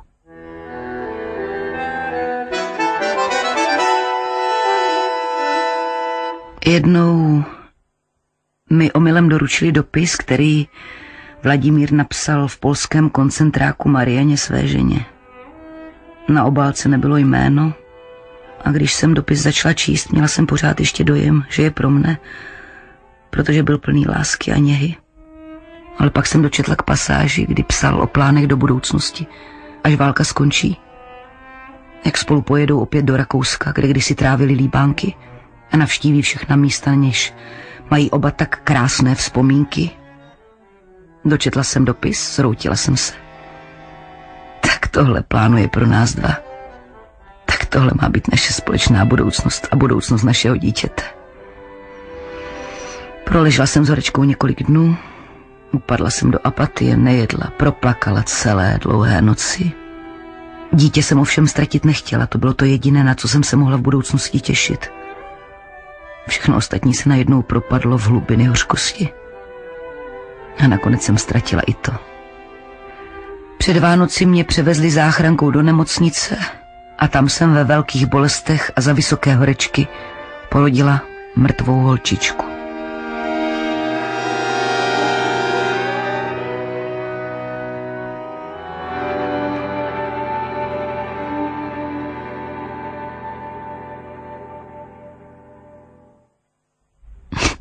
Ráno po operaci jsem se probudila s normální teplotou a jako znovu zrozená s novou chutí do života.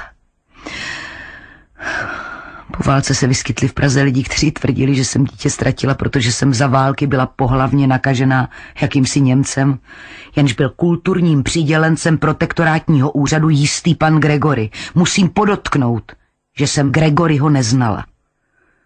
Někdo, a myslím, že to dokonce byl někdo z mého vlastního prostředí o mě tvrdil, že jsem čekala dítě s vlastním bratrem a proto jsem ho nemohla donosit. Když jsem se v nemocnici vzpamatovala z operace, řekl mi lékař, že s největší pravděpodobností už nikdy neotěhotním. Bylo mi to nějak jedno. Události mě úplně změnily.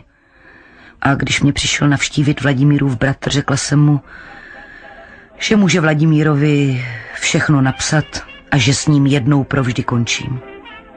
Po návratu z nemocnice domů jsem začala užívat života, jako kdybych za tu dobu, co jsem byla Vladimírovi věrná, byla mnoho promeškala. Střídala jsem milence jednoho za druhým, já jsem pila, flámovala, prostě jako bych se chtěla na někom nebo na něčem pomstit za to, co se mi stalo. A zatím jsem se mstila jenom sama na sobě a duševně jsem chátrala.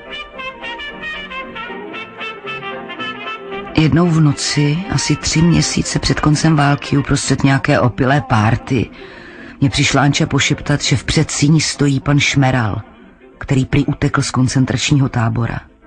Okamžitě jsem se všech zbavila a když mi Vladimír vylíčil, co se stalo a že nemůže jít domů, protože by ho odtamtud okamžitě sebrali, nechala jsem ho spát u sebe.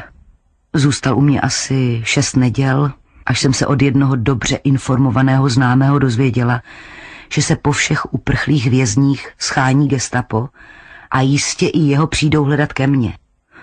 Já jsem dostala nápad, zavolala jsem svého přítele doktora Procházku, ten přišel obratem, dal Šmeralovi injekci vyvolávající vysokou horečku, naklepal mu pod paždí a chodidla kartáčem, takže se mu tam udělala taková červená vyrážka a dopravil ho na infekční oddělení na Bulovku. Tam ho okamžitě přijali jako podezřelého ze spály, a on tam zůstal až do konce války.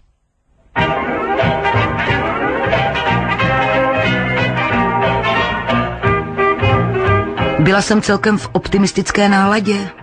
Věřila jsem, že se nakonec všechno vysvětlí a až se prokáže, že jsem se nikdy ničeho nečestného nedopustila, přijme mě kulturní obec zase do svých řád. Ale osud zakročil znovu v můj neprospěch. Vidrovi měli v Berouně přítele, který byl v revoluci raněn a ležel v nemocnici.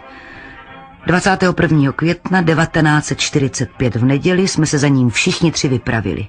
Jeli jsme vlakem a na nádraží v Berouně jsme si najeli kočár, který nás měl dovést do nemocnice. Najednou v centru města vyskočili na kočár dva pozuby ozbrojení gardisti a žádali nás, abychom se legitimovali. Nepoznali mě, protože jsem nebyla nalíčená, až náhle jeden, který prohlížel mé papíry, vítězoslavně vykřikl. Aha, ptáček utíká za Frankem. Frank byl prý internován v nějakém táboře blízko Berouna. Můj přítel Mirek se ohradil, prosím vás, neblbněte, snad těm drbům o paní Mandlové nevěříte.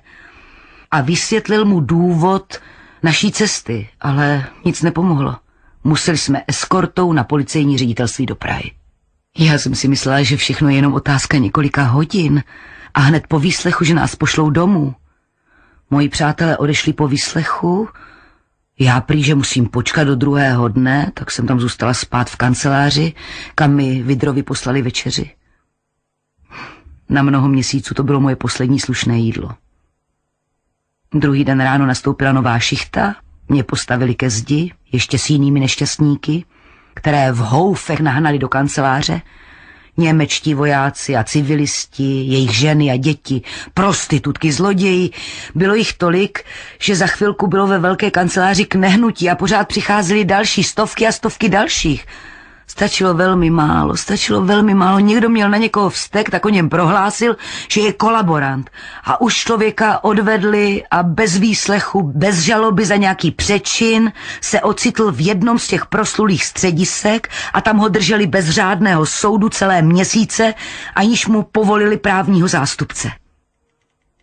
Mnoho lidí sedělo na pankráci dlouhou dobu bez výslechu, než se ustavili řádné soudy a když konečně byli vyslechnuti, propustili je často s podrytým zdravím a s omluvou to je revoluce, to je revoluce, co chcete.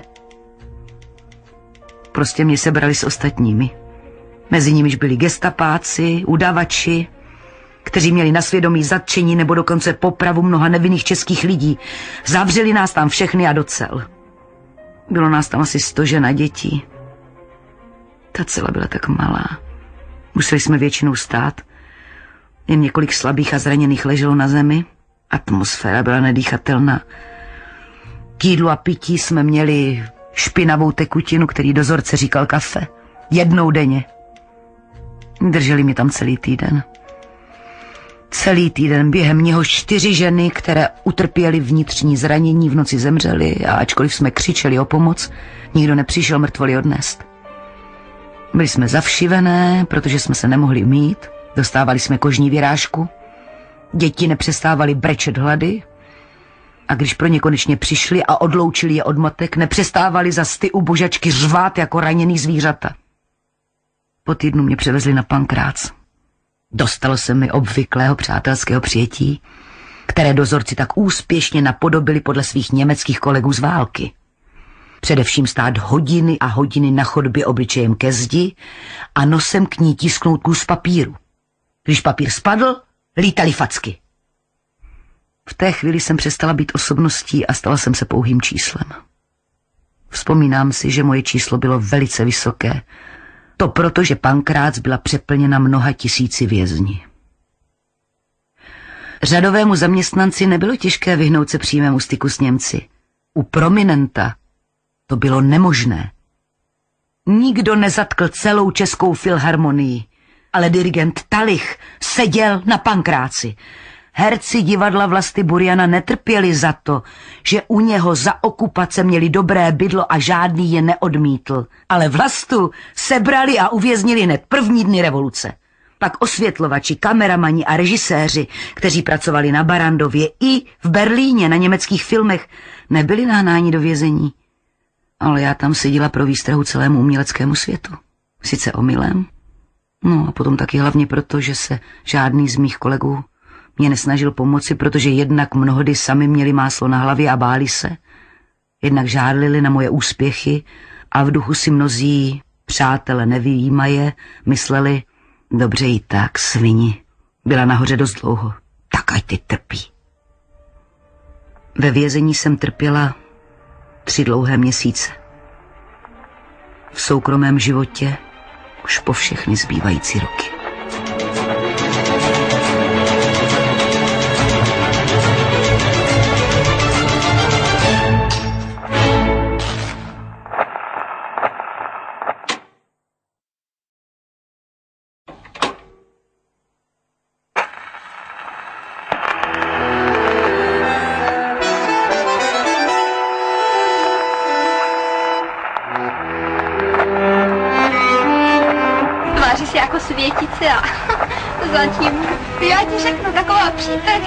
Ministra.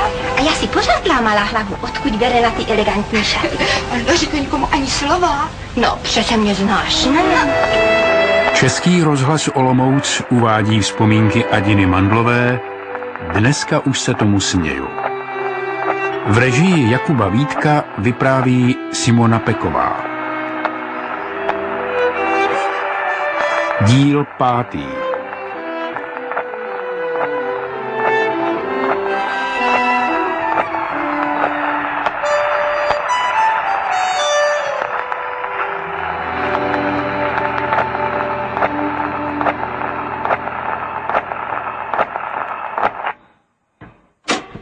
Nějakém čase jsem úplně rezignovala. Přijala jsem svůj osud celkem filozoficky a obrnila se na povrchu naprostou netečností a odevzdaností. Všechno, co kdysi pro mě něco znamenalo, moje postavení, práce a soukromí, mi osud vzal.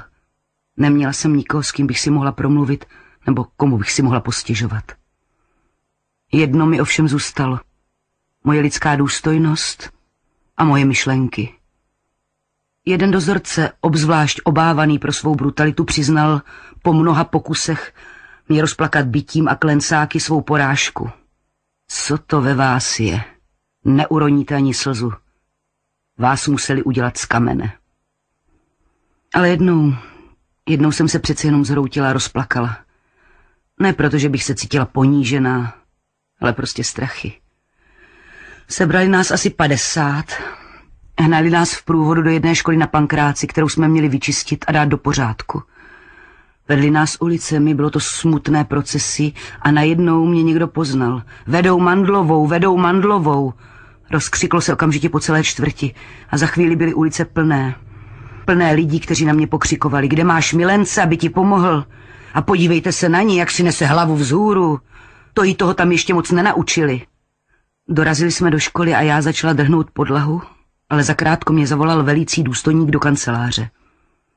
Víte, já jsem vás vždycky obdivoval jako herečku a těm drbům o vás jsem nikdy nechtěl věřit. A tak vám chci pomoct. Venku je obrovské srocení a všichni čekají na vás, až půjdete odtud a chtějí vám natlouct. Mohli by vás i zabít. Takový dav, když to na něj sedne, nedá se kontrolovat. Vy se prostě musíte do věznice vrátit tak, aby vás nepoznali. A s pomocí jedné dozorkyně mě převlékli do staré blůzy a dlouhé sukně a na hlavu mi dali šátek na babku, takže jsem vypadala opravdu jako nějaká stará babka. I ještě se dvěma jinými vězenkyněmi jsme přelezli zeď vzadu za školou a nastoupili na konečné stanici do tramvaje jedoucí směrem k věznici. A tenkrát jsem poznala poprvé, co je to strach o život. Stala jsem v elektrice mezi lidmi, kteří se těšili, jak mi natlučou. Pojedem na náměstí až před věznici a tam si na tu svini počkáme. Když jsme všechny tři konečně vystoupili před vězením, museli jsme se prodírat davem, který se tam zatím nazhromáždil. Lidi mě chytali za rukáv, protože mě nepoznali a ptali se, kde je Mandlová, kde je ta Mandlová. No a já jsem koktala, počkejte, počkejte, ona přijde. Asi jí něco zdrželo. Když se konečně za mnou zavřela brána věznice, byla jsem strachy polomrtvá. Upadla jsem na dláždění a hystericky jsem se rozbrečela. To byla snad jediná chvíle, kdy jsem byla ráda, že jsem zavřená. Že jsem zavřená a že na mě nikdo nemůže.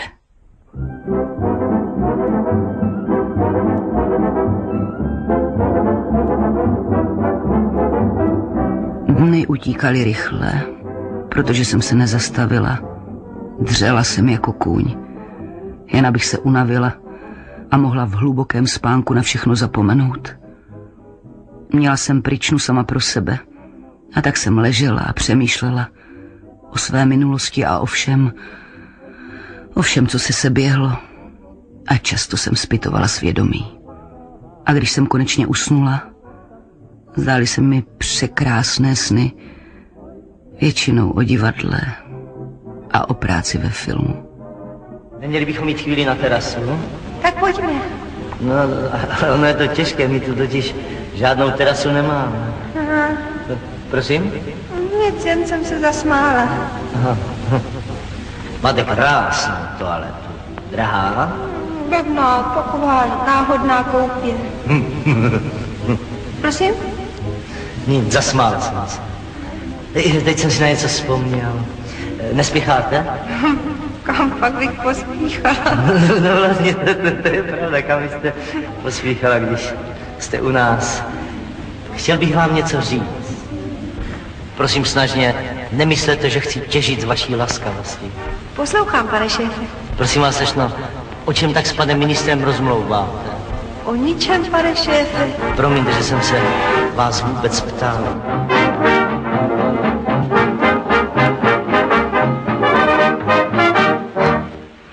Jednoho dne mě dozorce vyvedl z cely a odvedl mě na dvůr, kde na mě čekalo asi deset novinářů a fotograf. Musela jsem pro ně stát na schodech ve vězeňských šatech a s kbelíkem vody v ruce. Jeden z těch novinářů mi později prozradil, že to byl příkaz ministerstva vnitra a článek s fotografií uveřejnili všechny noviny, aby každý viděl na vlastní oči, jak jsem byla potrestána. Krátce po propuštění přišel ten novinář ke mně do bytu a přiznal, jak mu to bylo trapné plnit tak nepříjemný úkol. A jak mě při té příležitosti všichni vlastně obdivovali. Víte, my jsme očekávali zlomenou, zahambenou, zdrcenou ženskou, ale když jste se objevila, styděli jsme se mi. Vy jste byla ve své staré formě a celou dobu jste s námi žertovala, jako když jsme vás ve dnech vaší největší slávy chodili interviovat.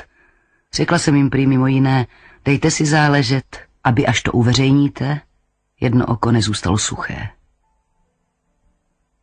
Konečně jednou ráno mě opět předvolali před vyšetřujícího soudce. Nenašlo se prý nic, co by veřejnému žalobci zavdalo důvod pohnat mě před lidový soud. Všichni svědkové svědčili v můj prospěch a když vyslýchali Franka a ptali se ho, co jim může říct o paní Tůmové, užili tehdy moje vdané jméno, ptal se jich, kdo to je, že to jméno mu vůbec nic neříká a tu dámu nezná. Soudce také podotkl, že všichni svědkové projevili velkou ochotu říci o mně jen to nejlepší. O mém propuštění prý zatím nemůže být ani řeč, řekl soudce. Musím být trpělivá a musím počkat, až se situace v Praze uklidní.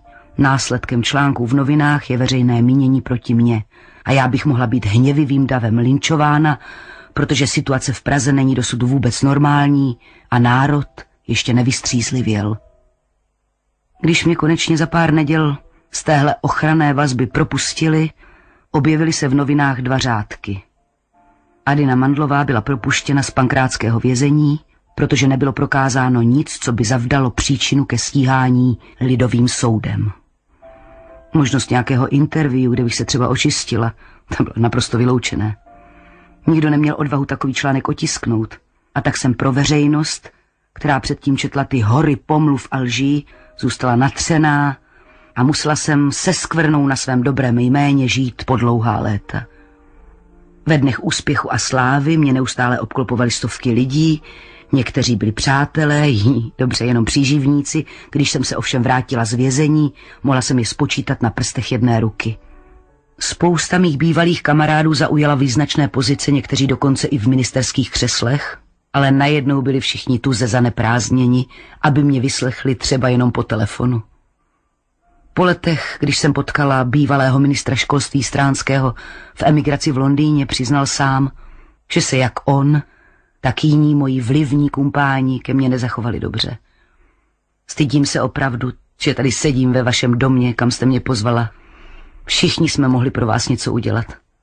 Ale byli jsme zbabělci a sobci. Prostě jsme se nechtěli angažovat. Ale myslela jsem si vždycky, že život je příliš, příliš krátký, aby se člověk na lidi hněval. Konec konců jsme všichni jenom lidi a silných a odvážných je mezi námi tak málo. Většinou jsme slaboši.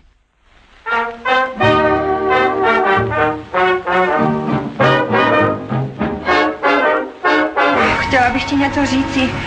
Já jsem tě obelhala. Totiž vlastně jsem tě ani neobelhala, ale neřekla jsem ti pravdu. Aha, ty se s panem ministrem ještě nerozešla. Ne, Jendo, a ani se s ním nemohu rozejít. Tak s Bohem, Julinka. Počkej, Jendo, ty chceš odejít? No ano. Ale ty mě nerozumíš. Já se s ním nemohu rozejít, prostě protože jsem s ním nikdy nechodila. Co ty pomluvy? No, vidíš, ještě se dějí zázraky. A to je snad první pomluva, která nikomu neuškodila a mě přinesla štěstí. Dala jsem se na pití a chodila v průvodu podivných charakterů po různých barech a špeluňkách a moji kavalíři se tam obyčejně servali s někým, kdo pokládal za svou vlasteneckou povinnost mě urazit. Většinou mi takový paroví patrioti dali zahrát. No tak vidíš, Máňo, přece jsme tě lízli. A každý hned věděl, koho tím myslí, protože v povědomí mnoha lidí jsem chodila s fízly, jako ta prostitutka v té písničce. Jednou se v jakémsi baru strhla opět jedna taková rvačka mezi mými společníky a jejich oponenty a v tom přišla policie a málem by mě sebrali nebýt toho, že jeden host mě rychle popadl a vyvedl zadním vchodem ven. Byl to mládenec a pocházel z malé moravské výsky, jmenoval se kdysi Pepík Kočvárek, ale po Mnichově utekl do Anglie, vstoupil do RAF, po válce dostal anglické státní občanství a změnil si jméno na Joe Knight. Začali jsme spolu chodit. Když musel odjet na pár týdnů do Anglie, kam se chtěl později definitivně odstěhovat, slíbili jsme si, že se brzy zase setkáme. Mezitím se v Praze objevili dva filmoví pracovníci z Anglie. Basil Darden a Michael Ralph. A já se s nimi seznámila na večírku u Franty Čápa. Viděli můj film Šťastnou cestu a chtěli mi dát roli ve filmu, který měli brzy začít natáčet v Londýně. Poněvadž jsem potřebovala úřední povolení, abych mohla opustit Československo a kompetentní k tomu byl ministr informací, dostavili se ke Kopeckému, aby jim dal písemné povolení, že mi může být vydán cestovní pas. Kopecký se však ohradil, že prý není zapotřebí hledat pro mě práci v zahraničí, protože u nás je jí pro mě opravdu dost. Všem jakou práci myslel, to neřekl. Rozhodně neměl na mysli moje původní zaměstnání. No a tak mi skazil šanci začít novou kariéru v Anglii pod vedením dvou nejvýznačnějších režisérů. Vyjednala jsem si u ministra audienci, ale netrvalo dlouho a já i Kopecký jsme věděli, že se nemůžeme vystát.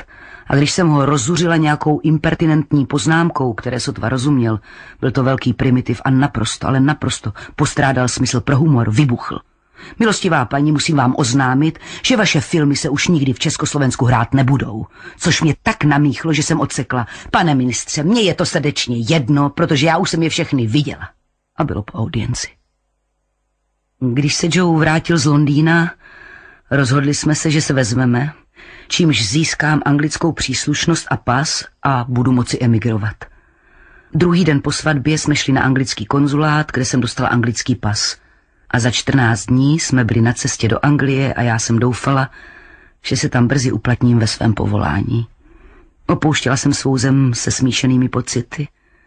Byla jsem šťastná, že se zbavím pronásledování a nenávisti a nechám za sebou úzkost budoucnosti a nespravedlnosti, ale v hloubi duše jsem nebyla šťastná, protože jsem si myslela, že odjíždím navždy a nikdy už svou milovanou Prahu neuvidím. Celou cestu v letadle jsem probrečela. Přísloví praví, že chybami se učíme. Už neříká, že když se poučíme, je obvykle pozdě. Moje první velká chyba byla, že jsem do Anglie odjela po válce, když už jsem byla ve věku, kdy začínat novou kariéru v cizí řeči a v cizím prostředí je pro herečku prakticky nemožné.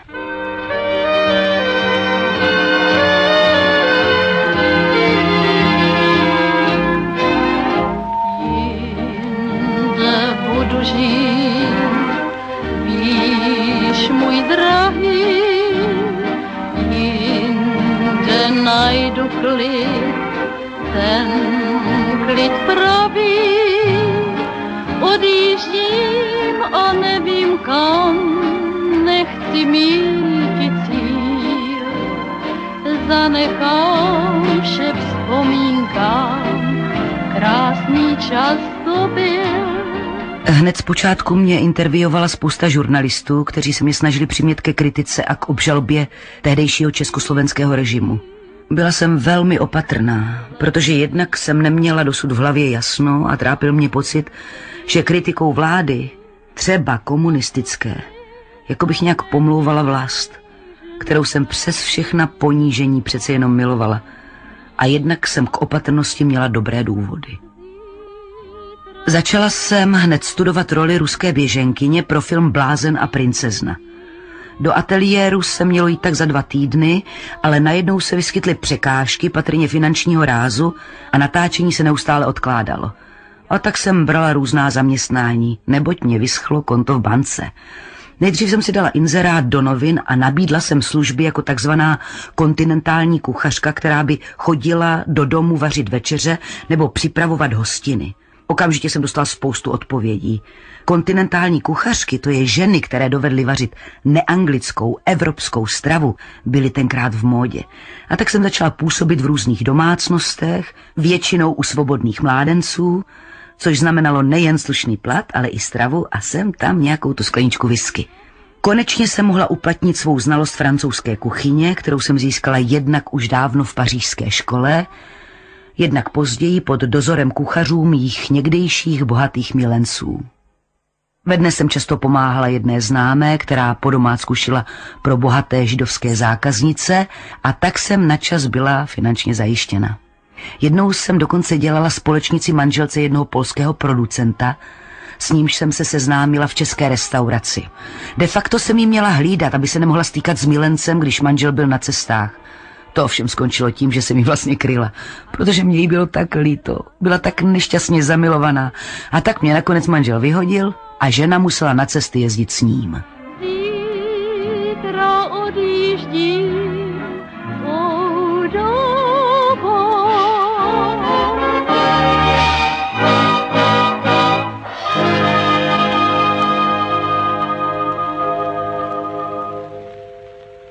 Když jsme konečně začali Spendrův film natáčet, musela jsem všech ostatních činností nechat, ale po dokončení mi nezbývalo, než opět přijmout různá taková zaměstnání, neboť jsem za roli dostala žalostně málo. Dělalo se to s velmi nízkým rozpočtem a velmi rychle, ale přesto to byl poměrně úspěch. Mě v recenzích chválili a někteří dokonce psali, že jsem pro anglický film velký objev a že by si mě měli producenti rychle zajistit, než mě objeví Hollywood. Moje rychle získané konexe ve filmovém a divadelním světě mi nijak nepomohly. Někdo už zatím proti mě začal v Anglii pracovat. Jednou mě můj agent poslal k Petru Ustinovovi, který pro svůj film hledal cizinku. Rozhovor sice dopadl dobře, protože Ustinov moje obsazení schválil, ale režisér Dmitrik mě odmítl. Byl pro komunistickou činnost sám na černé listině v Americe a prohlásil, že s herečkou, která emigrovala z komunistického státu, pracovat nebude. Indy zasáhly staré drby z domova. Jeden pražský herec, jenž v Anglii pracoval už dlouhou dobu a měl pevné postavení, že mě mohl prosadit, řekl, že s tou kolaborantkou pracovat nebude. Kvůli pomluvám, že jsem nacistka a antisemitka, mě spousta filmových a divadelních ředitelů, většinou židů, pochopitelně nechtělo zaměstnat. A tak sny, že budu pokračovat v herecké kariéře v Anglii, se dlouho neuskutečňovaly. Můj soukromý život se mezi tím značně změnil. Ve filmu Blázen a princezna hrál mého partnera Bruce Lester. Zamilovali jsme se, já se rozvedla s Joem, přestěhovala jsem se k Bruceovi do bytu na Marble Arch, kde jsme spolu nějaký čas potom trávili, než ho Londýn, tamní poměry, znechutili a on odjel zpět do Hollywoodu a začal psát scénáře. Ovšem ještě než odjel, seznámil mě s manažerem Musk Theatre Company Tainem Parkerem. Předsedou té společnosti byl jistý G.B. Prisley, který právě napsal hru Summer Days Dream, kde byla velice, ale velice dobrá role ruské komisařky a tu roli jsem dostala já. Měsíc před začátkem zkoušení mě poslali do Jižní Francie, abych se tam roli naučila a přijela na zkoušky svěží. Na riviéře jsem našla celou českou kolonii, mezi jinými doktora Mikulejského s Boženkou, Rudolfa Vurma s Ančou, maminku Vejrovou s fanouškem, který si tam otevřel malé bistro a tam jsme se všichni scházeli, popíjeli a debatovali.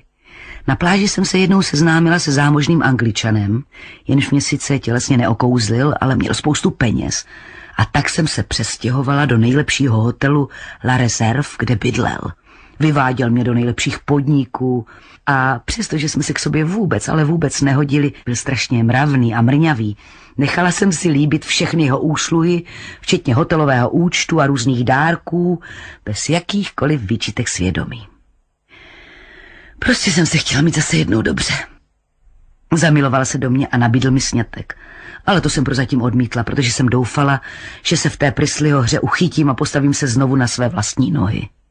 A tak jsem se po čtyřech nedělích přepichového života vrátila do svého malého bytu v Londýně a začala zkoušet. Při premiéře v Londýně vypadalo všechno velmi dobře a nadějně. Dostal jsem ohromnou spoustu kytek a když Prisli přišel ke mně do šatny popřát mi gutlák, spráskl ruce a prohlásil, že to tam vypadá jako o funuse čikekského gangstra. Jenže po třech měsících v St. Martin's Theatre jsme pro nedostatek zájmu hráli naposled. Ještě jsem natočila dvě televizní představení a pak jsem opět byla bez zaměstnání. A Jeffrey, ten boháč z Riviery, který si umínil, že se se mnou ožení, ten mě nepřestával uhánět. Úplně mě hýčkal dárky a pozornost mi zval moje přátele na večeře do různých přepichových podniků a tím je získával na svou stranu. Nakonec mi všichni domlouvali, abych si ho vzala. Byla jsem ve velkém dilematu. Na jedné straně nejistá existence, chození od jednoho producenta k druhému, pohovory, nakonec zamítnutí, zklamání a na druhé straně možnost bezstarostného života v přepichu. Snad jsem už tehdy byla nemocná a nemoc podryla moji energii protloukat se životem sama bez pomoci bohatého manžela, tak jsem se rozhodla, že ano a Jeffreyho nabídku jsem přijala. Hned druhý den po svatbě jsem ovšem rozhodnutí začala strašně litovat, ale byl pozdě. Jakmile jsem se stala jeho ženou, Jeffrey se ohromně změnil. Začal příšerně žárlit, byl nesmírně posesivní a považoval mě za výhradně svůj majetek, jako všechno ostatní, co vlastnil domy, pozemky a svůj výnosný obchod s realitami. Zapomněl ovšem, že jsem žila dlouhá léta jako svobodný mládenec a byla vždycky samostatná, takže na nějaké slepé plnění povinností v roli pokorné manželky si prostě nikdy nezvyknu. A tak jsme se začali hádat hned dvě hodiny po svatbě a nepřestali jsme až do rozvodu, který nevyhnutelně následoval po dvou letech nejnešťastnějšího a nejnudnějšího manželství dvou lidí, kteří se nikdy neměli potkat. Come and show me how to win her heart, her mind, her everything.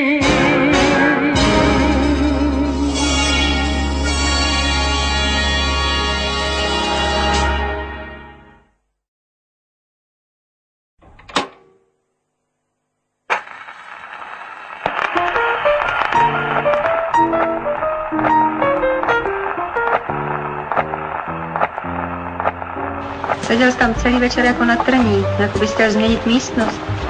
Kdyby si mě tolik nevšímala, nepozorovala bys, že mě něco chybí.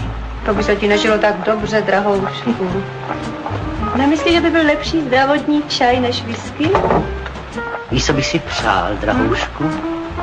Aby se mohl jednou doopravdy vyspat. Taky na to jednou dojde. Český rozhlas Olomouc uvádí vzpomínky Adiny Mandlové Dneska už se tomu směju. V režii Jakuba Vítka vypráví Simona Peková. Díl šestý.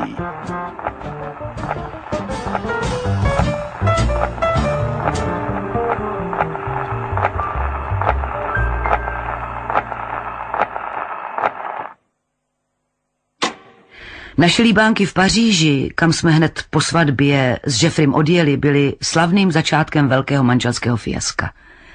Nikdy předtím jsem nebyla nucena přizpůsobovat se někomu s takovou nechutí. Najednou jsem objevila, že ve všem, co podnikáme, zeje mezi námi ohromná propast. Jeho vkus byl pravý opak mého. Já měla ráda operu a vážnou hudbu, On chtěl poslouchat jenom pitomé, sentimentální staré anglické písničky. Já chtěla vidět dobré divadlo v komedii Française, on chtěl na reví s nohatýma holkama. Já jsem jedla francouzskou stravu, kterou si v Paříži každý rozumný člověk objedná už jenom proto, aby ji ochutnal, ale jediné, co za ten týden v Paříži pozřel on, byla skopová kotleta. Hrozný. Když jsem pozvala několik českých přátel usedlých ve městě, dřepěl u stolu jako zařezaný, přestože zábava byla velice živá a kosmopolitní. Každý se snažil bavit ho v jeho mateřštině, protože on totiž francouzsky neuměl ani žvejknout. A pokud se o nějaký ten francouzský výraz pokusil, nikdo mu vůbec nerozuměl. To jenom rozčilovalo a pak už se s nikým nechtěl setkávat. V pařížské opeře usínal, v Louvru ho bolely nohy a na dostizích, kde jsem si myslela, že se konečně pobaví, se rozzuřil, protože prohrál několik set franků na jedné staré anglické kobyle, na kterou vsadil z patriotismu a tak prohlásil, že všechno je tam jenom podvod. Prostě to byl veliký průser, to byl veliký průser. Denně jsem si ráno přála, abych se probudila ve svém malém, ošklivém bytě, ale sama a svobodná. Je to tu jako ve skleníku. V něm člověk vadne, alespoň příjemně, když už nemůže rozkvést naplno. Teď už vím, proč máte ráda květiny. Máte stejný osud. Ne docela. Květiny se mohou vyměnit. Richard mě má nesmírně rád, proto mi jich posílá takové spousty. Květina mi obyčejně omlouvá svou nepřítomnost. Někdy bych měla raději malého úředníčka, abych taky věděla, co je to rodinný život.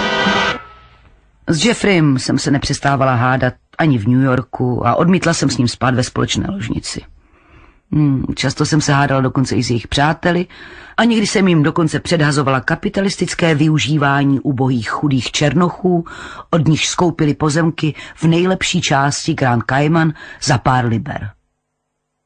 Co nevidět mě pro moje protikapitalistické řeči měli rádi stejně, jako já je a Jeffrey se za mě začal stydět a neustále mě okřikoval, abych si tu svou komunistickou propagandu nechala pro sebe a pro sobě rovné.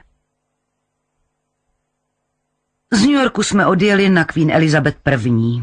Cesta trvala asi šest dní a většinu času se v jednom kuse pilo a hodovalo a oslavovaly se výhodné koupě, z nichž se později měly vytěžit tisíce a tisíce liber. No já jsem to měla všeho pokrk.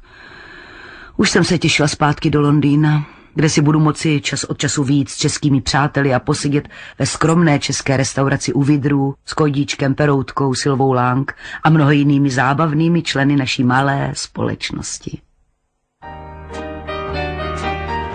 Poslední večer na lodi jsem tančila s lodním doktorem, když se mi náhodou přetrhlo ramínko u večerních šatů.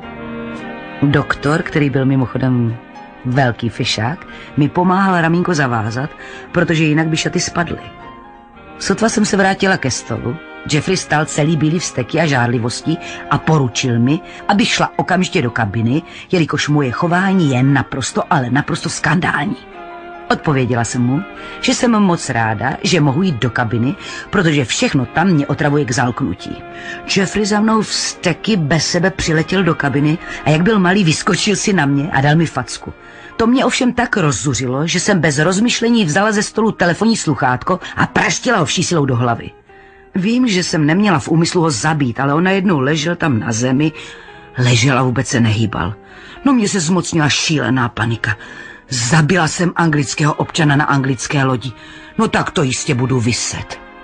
Rozhledla jsem se kolem sebe a napadlo mě, že bych ho mohla vystrčit kulatým kajutovým okénkem, protože je malý, já ho lehce unesu, moře se za ním zavře a nikdo o něm nebude vědět. Rozhledla jsem se kolem sebe a napadlo mě, že bych ho mohla vystrčit kulatým kajutovým okénkem, protože je malý a já ho lehce unesu. Moře se za ním zavře a nikdo nebude nic vědět. Sehnula jsem se k němu, abych si ho hodila přes rameno. V tom okamžiku se probral smrákot, vyskočil s obrovskou boulí na hlavě a začal mi znovu nadávat. Přestože jsem si oddychla, že je naživu, dopálilo mě to tak, že jsem ho popadla a vystrčila z kabiny. Dveře jsem zamkla na klíč a za nic na světě bych mu nebyla otevřela. Až za hodně dlouhou dobu jsme se opět na čas smířili. Oba svědomím, že se sice rádi nemáme, ale nějak to musíme přežít a snad se později všechno obrátí k lepšímu. Ale ani to nevydrželo dlouho.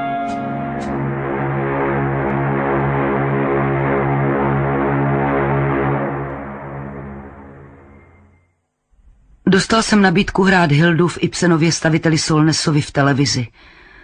Neměla jsem na Hildu sice už správný věk, ale byla jsem ohromně štíhlá až hubená po všem tom trápení a nespokojenosti, takže jsem vypadala o mnoho mladší. Role mi vynesla první cenu v hlasování kritiků jako nejlepší výkon měsíce a mnoho lidí mi předvídalo velkou budoucnost. Ale zlý osud opět všechno změnil. V březnu jsem dostala nabídku na hlavní roli v Modrém andělu, divadelní hře zpracované podle Manova románu a podle filmu, v němž se v Německu prosadila Marlene Dietrichová. Byla jsem nadšená, protože jsem věděla, že mi ta role bude sedět a producenti proti mému přízvuku nic nenamítali.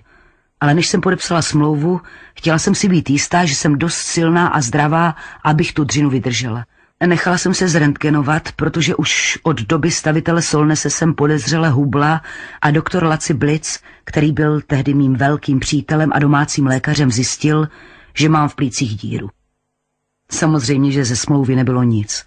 Laci jen tak mimochodem podotkl, že budu-li trvat na vystupování v té hře, může se ze mě ten modrý anděl nakonec stát. Uprosila jsem Laciho, ať přemluví mého muže, aby mě poslal na léčení do nějakého švýcarského sanatoria. Verdikt byl zatím podle londýnského specialisty asi půl roku skutečně přísné léčby. Přestože jsem měla neustále horečky a nebylo mi ani na chvilku dobře, byla jsem ohromně šťastná, když se můj manžel rozhodl poslat mě do britského sanatoria v Montaigne, bylo mě úplně jedno, že mám tuberkulózu, že na ní možná i zajdu, že možná dokonce i umřu, ale byla jsem šťastná, protože jsem mohla strávit nějaký čas ve Švýcarech, daleko od Anglie, která mi nikdy nepřirostla k srdci a hlavně od muže, jehož jsem prostě nesnášela. Ty jsi prostě úžasná. Úžasná paní Herbertová, úžasná reprezentace, dokonalý vývěsní štít továrny Herbert a spol. Oblékla se zdokonale. Máš přece dnes narozeniny. No kdyby mě to lidé nepřipomínali, ani bych si sám nevšiml. Že stárneš? No. Že ty vlastně ani nestárneš, ty jenom zraješ.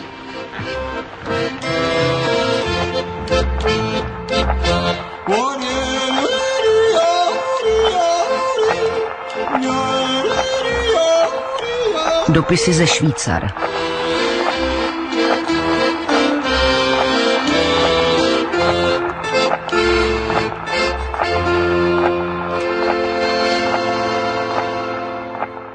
Doktoru Blicovi, Londýn.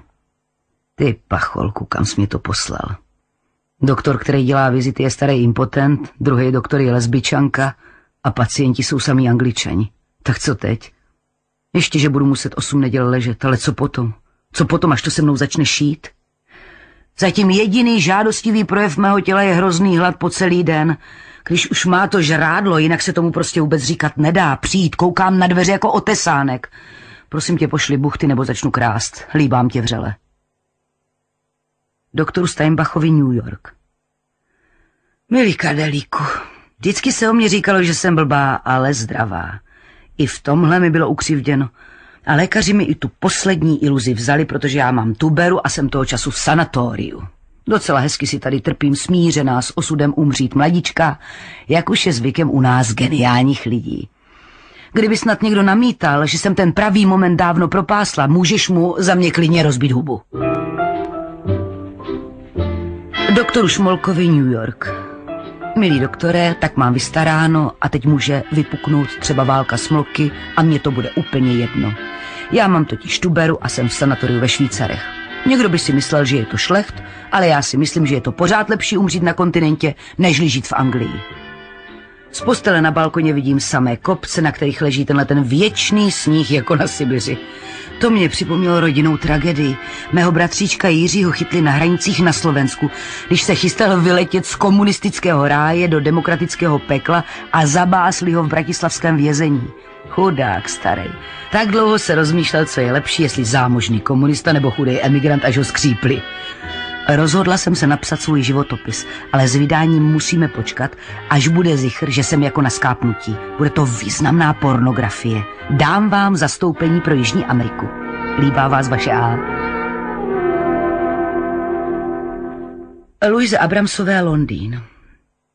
Milá Luizo, docela hezky jsem se tady zavedla a počítám, že tak do 14 dnů budu postrach sanatoria. Jedna ošklivá holčička, která je tady omylem jako ošetřovatelka, už se mě bojí teď, protože se mi trochu vystrašila. Ubohá duše je tak blbá, že všechno, co jí řekneš, promptně sežere. Ptala jsem se jí, jestli tohle sanatorium má vlastní hřbitov. Ona byla tak vyděšená, že mě ujistila, že tady nikdo neumírá a když jo, takže ho promptně pošlou zpátky do Anglie. Tak jsem jí poděkovala se slzami v očích, že mě tak uklidnila a prosla jsem jí, aby ke mně chodila častěji. Chlapy jsou tady sice na ženský jako vosa na bonbon, ale znáš to. Oči by jedli, huba nemůže. Je to tady samý angličan. Můj soused mě přišel navštívit, aby mi všechno o sobě řekl. Je docela přijatelný fyzicky, ale asi s ním nic nebude. Má potíže se žaludkem. A to je konec erotiky. To ukazuje jedině na průser. Myslela jsem si, že tady poznám nejmíň bratrance od perského šacha, místo toho je tady samý Smith a Brown. Tak se měj hezky a brzy přijeď. Slíbili mi, že do takových tří neděl nebudu nakažlivá a tak na tebe budu moci i plivnout.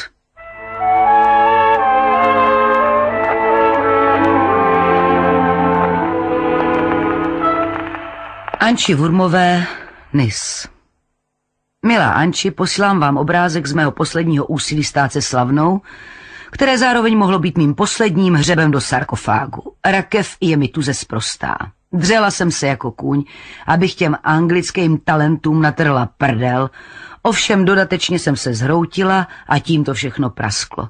Je mi to celkem jedno, protože v Londýně mě šlo všechno na nervy, včetně manžela, který teď bude muset jezdit na riviéru sám. Je z toho celý pryč, protože s ním nebude mít kdo hrát večer karty, což je vlastně to jediné, proč se naše manželství může nazývat skonzumované. Honza Kubíček, když projížděl Londýnem na cestě do Austrálie, byl u mě na obědě a tak mi povídal drby z kontinentu a že prej jste o mě moc hezky mluvila. Měla byste se nechat prohlídnout, jestli nejste nemocná nebo mentálně vyšinutá. Takový případ ženské ušlechtilosti je vždycky krajně podezřelý. Doufám, že se Honza v té zemi dobrodruhu uchytí. Kdybych byla mladší, svobodná, zdravá, tak bych tam jela taky. Když už nic jiného, tak snad by si jeden mezi těmi drvoštěpy přišel na své aspoň po té čistě živočišné stránce. Já totiž od té doby, co mám tuhle nemoc, jsem strašlivě vášnivá a chlípná. To se musí. To k tomu patří jako zelík vepřový anebo vlk ke karkulce. Tak ať mě tam u vás moc nelitujou. To prej není dobře. Moje babička, když zařezávala husu, mě odhánila pryč a říkala, ty lituješ a ona potom nemůže chcípnout.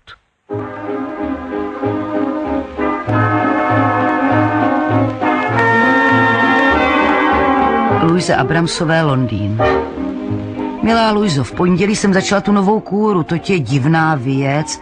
Ta medicina vypadá jako sušený psí trus a taky to tak strašně chutná a to prej mi má zachránit život.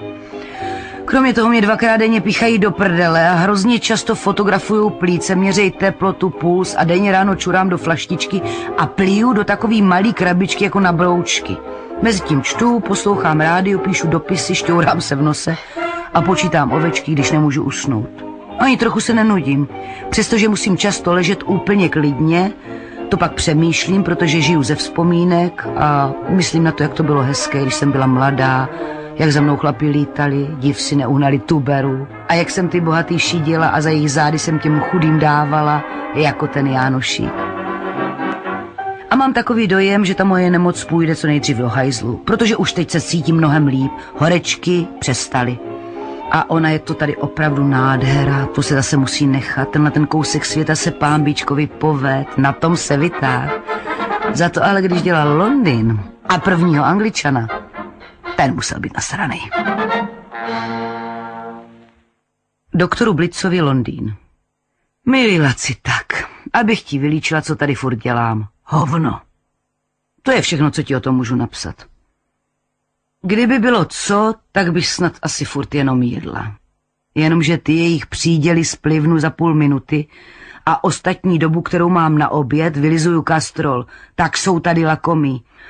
Už se těším, až budu moci vstát, že zrujnuju zdejšího cukráře. Od nich si to koupit nenechám. To by mi přišla jedna indiánka na dvě libry. Denně se mi zdá o zlodějích a teď, když mi předložili účet, tak vím proč. Kdyby to věděli doma v Čechách, tak by to pranířovali v rudém právu, protože za tu cenu by mohli žít čtyři havířský rodiny na Kladensku. Jo, co se týče šoustání, nedělej si iluze. Jsou tu samý hrdí synové Albionu a tam, jak víš, se to nenosí. Moje nemoc pokračuje k veškeré spokojenosti. Každý týden mi patrně přibyde o jednu díru víc.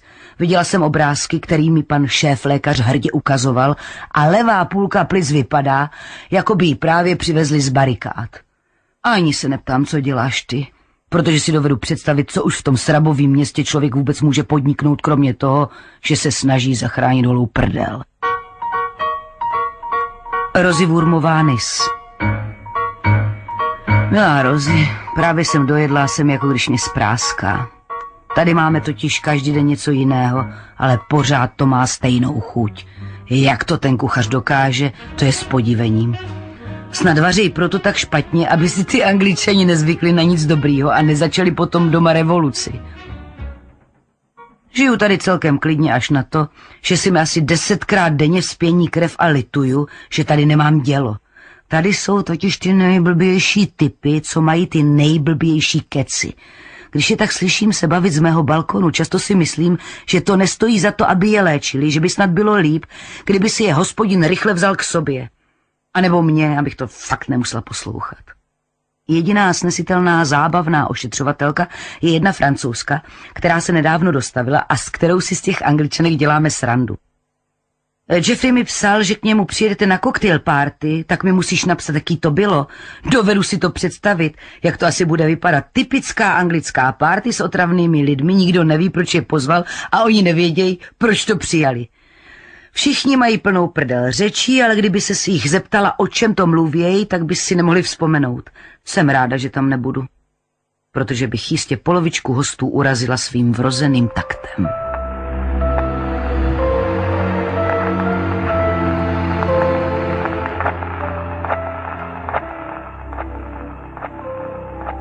Doktoru Blicovi Londýn. Milí Laci, Jeffrey dnes ráno odcestoval a naše rozloučení včera večer bylo obdobné s tím manželským párem, který se nevidí až do rozvodového řízení. Celou dobu, co tu byl, jsme se hádali a jeho odjezd byl pro mě obrovská úleva, jako když rudá armáda opustila Československo. Abych ti jenom ilustrovala jeho chování, arrogantnost a popudlivost, musím ti uvést několik případů. Ukážeš mu krásnou krajinu s horama pokrytýma sněhem. To máme v Anglii taky.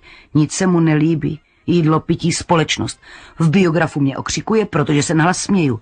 Pije jako duha, jí jako brabec a je tak nervově vedle, že při naslouchání druhému člověku pohybuje ústy podle toho, co ten říká. Nechce moučník, ten prý nejedl od té doby, co byl dítě, nechce flašku do postele, pro ji nepotřebuje, není nemocný, v noci ovšem pro ní sám telefonuje a potom zbudí celé sanatorium. A je tak příšerně lakomý. Nechce objednat ani lahev vína k večeři, což je jediné, co já mohu pít. Nakonec ji objedná a vypije ji sám. A tak dále, a tak dále, a tak dále. Kdybych ti měla vylíčit celou tu dobu, co tady byl, musela bych napsat obžalobu jako v Norimberku. Já ti tím nechci otravovat, ale chci jen, abys mi věřil, že jsem se poctivě snažila se vyhnout všemu choulostivému. Já jsem se usmívala jako Madonna. Div mě nenarostla křídla na lopatkách, tak jsem byla hodná a trpělivá. To bylo všechno marný. Než na mě přišel ten zasraný mor, tak bylo všechno mnohem snadnější. Člověk si prostě namíchal silnou whisky, jednu až osm každý večer, a pak to bylo všechno jedno. Ty nudíš? Já jsem ožrala, pak jsme si kvit. Nechci na tobě ani radu, ani pomoc. Nemusíš mi na to ani odpovědět. Chtěla jsem jenom někomu vylejt svoje utápnutý srdce, ale vím, jak je to těžké se do něčeho míchat nebo udělat si nestraný úsudek. Jsem velice disciplinovaný pacient, ale mám takový dojem, že kdyby byla pod postelí flaška whisky, že bych ji nejen načala, ale taky dorazila. A vůbec bych se nestyděla jí vypít celou na svoje vlastní zdraví. Až budeš mít trochu času, tak mi něco napiješ. Já se vždycky směju, když si pleteš ty tvrdý s měkkýma. Ale z toho si nic nedělej. To se mi v životě stalo moc krát.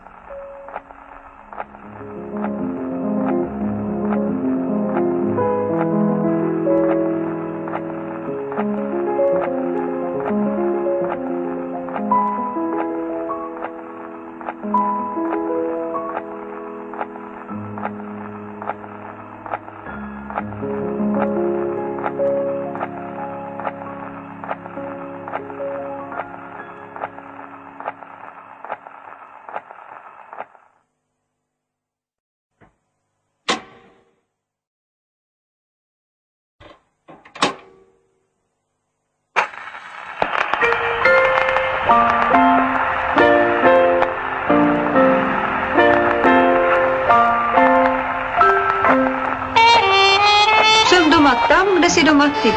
Žena je povinna bydlet se svým mužem a všude ho následovat. Správně. Pojďme odtud.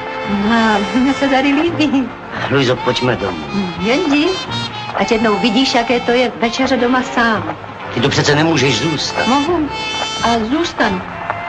Dobrou noc, Luizo. Dobrou noc, Richardu. Český rozhlas Olomouc uvádí vzpomínky Adiny Mandlové Dneska už se tomu směju. V režii Jakuba Vítka vypráví Simona Peková. Díl sedmý.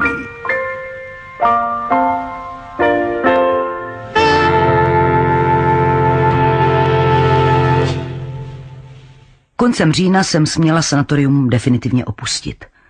Přestěhovala jsem se do vily Elizabeth a ještě tři měsíce za Jeffreyho peníze ve Švýcarsku relaxovala a prožila i jeden menší románek.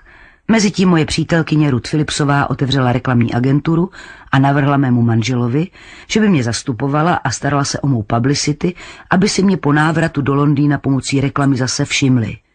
Jeffrey to přijal a rozjela se veliká akce, která měla připravit můj comeback. Neměli sice mnoho materiálu, protože jsem žádné konkrétní nabídky neměla, ale začali mě vodit na premiéry a fotografovat s různými známými osobnostmi, abych se zase dostala do oběhu a producenti si na mě vzpomněli. Tak se o mě neustále psalo v divadelních a filmových rubrikách všech možných novin, ale výsledek to žádný nemělo. Rolí cizinek bylo málo a pokud se vyskytly, vždycky je zastala nějaká anglická herečka s nasazeným přízvukem. Z nedostatku jiného zaměstnání a hlavně z nudy jsem začala chodit po restauracích a do nočních podniků v doprovodu nejrůznějších mužů, protože jsem měla úplnou volnost. Jeffrey jezdil často na Grand Cayman dohlížet, jak pokračuje stavba hotelu a jiných objektů na parcelách, které společnost mezi tím zakoupila. Doufala jsem, že všechno se časem nějak vyřeší, že se rozejdeme přátelsky. Netušila jsem ovšem, že kdykoliv odjede z Londýna, nechává mě sledovat detektivy. Měl totiž v úmyslu dát se se mnou rozvést z mé viny, aby mi nemusel nic platit. Já se chovala ohromně lehkomyslně a neopatrně. Vůbec jsem se se svými milostnými aférkami neskrývala a nachytat mě nebyl naprosto žádný problém ani pro toho nejpitomnějšího detektiva. Přímo u nás jsem často pořádala večírky, na níž jsem zvala většinou své české kámoše, sem, tam někdo u mě přespal. Kromě toho jsem si namluvila jednoho ze svých bývalých ctitelů, s nímž jsem se stýkala před svatbou a který si mě chtěl tehdy taky vzít, ale nějak to nevyšlo. Ten chudák to nakonec odnesl, protože v našem rozvodovém procesu figuroval jako korespondent a musel hradit veškeré výlohy. Ale jako vždycky v mém životě někdo jiný už čekal za rohem, zatímco se ten odcházející loučil. Když jsem v roce 1949 zkoušela Prisleyho hru, navrhoval kostýmy Ben Pearson, který pracoval pro Musk Theatre Company a pro mnoho jiných filmových a divadelních společností jako návrhář kostýmů. Měla jsem na něho zálusk, ale produkční se mi smál, že Ben je homosexuál a dosud žádná ženská u něho neměla štěstí. Měl sice spoustu přítelkyň z divadelního a filmového světa, ale žádné z nich se nepodařilo ho svést, i když se o to vydatně pokoušeli. Byl velice hezký, elegantní a vtipný a přestože se mu nedostalo školního vzdělání, jakého by si jeho inteligence zasloužila, vzdělal se sám ve večerních kurzech čtením, návštěvou divadel, koncertů a hlavně baletu, který měl zejména rád, protože jako malý kluk viděl Anu Pavlovovou – u východu z divadla mu hodila růži a on od té doby toužil jenom potom, aby mohl balet studovat. Jenže byl chudý a už od 15 let si musel vydělávat na živobytí v textilní továrně. Brzy si ušetřil na jeden šicí stroj a při svíčce, kterou mu jeho maminka držela, šel různé kreace pro sousedky ve vesnici.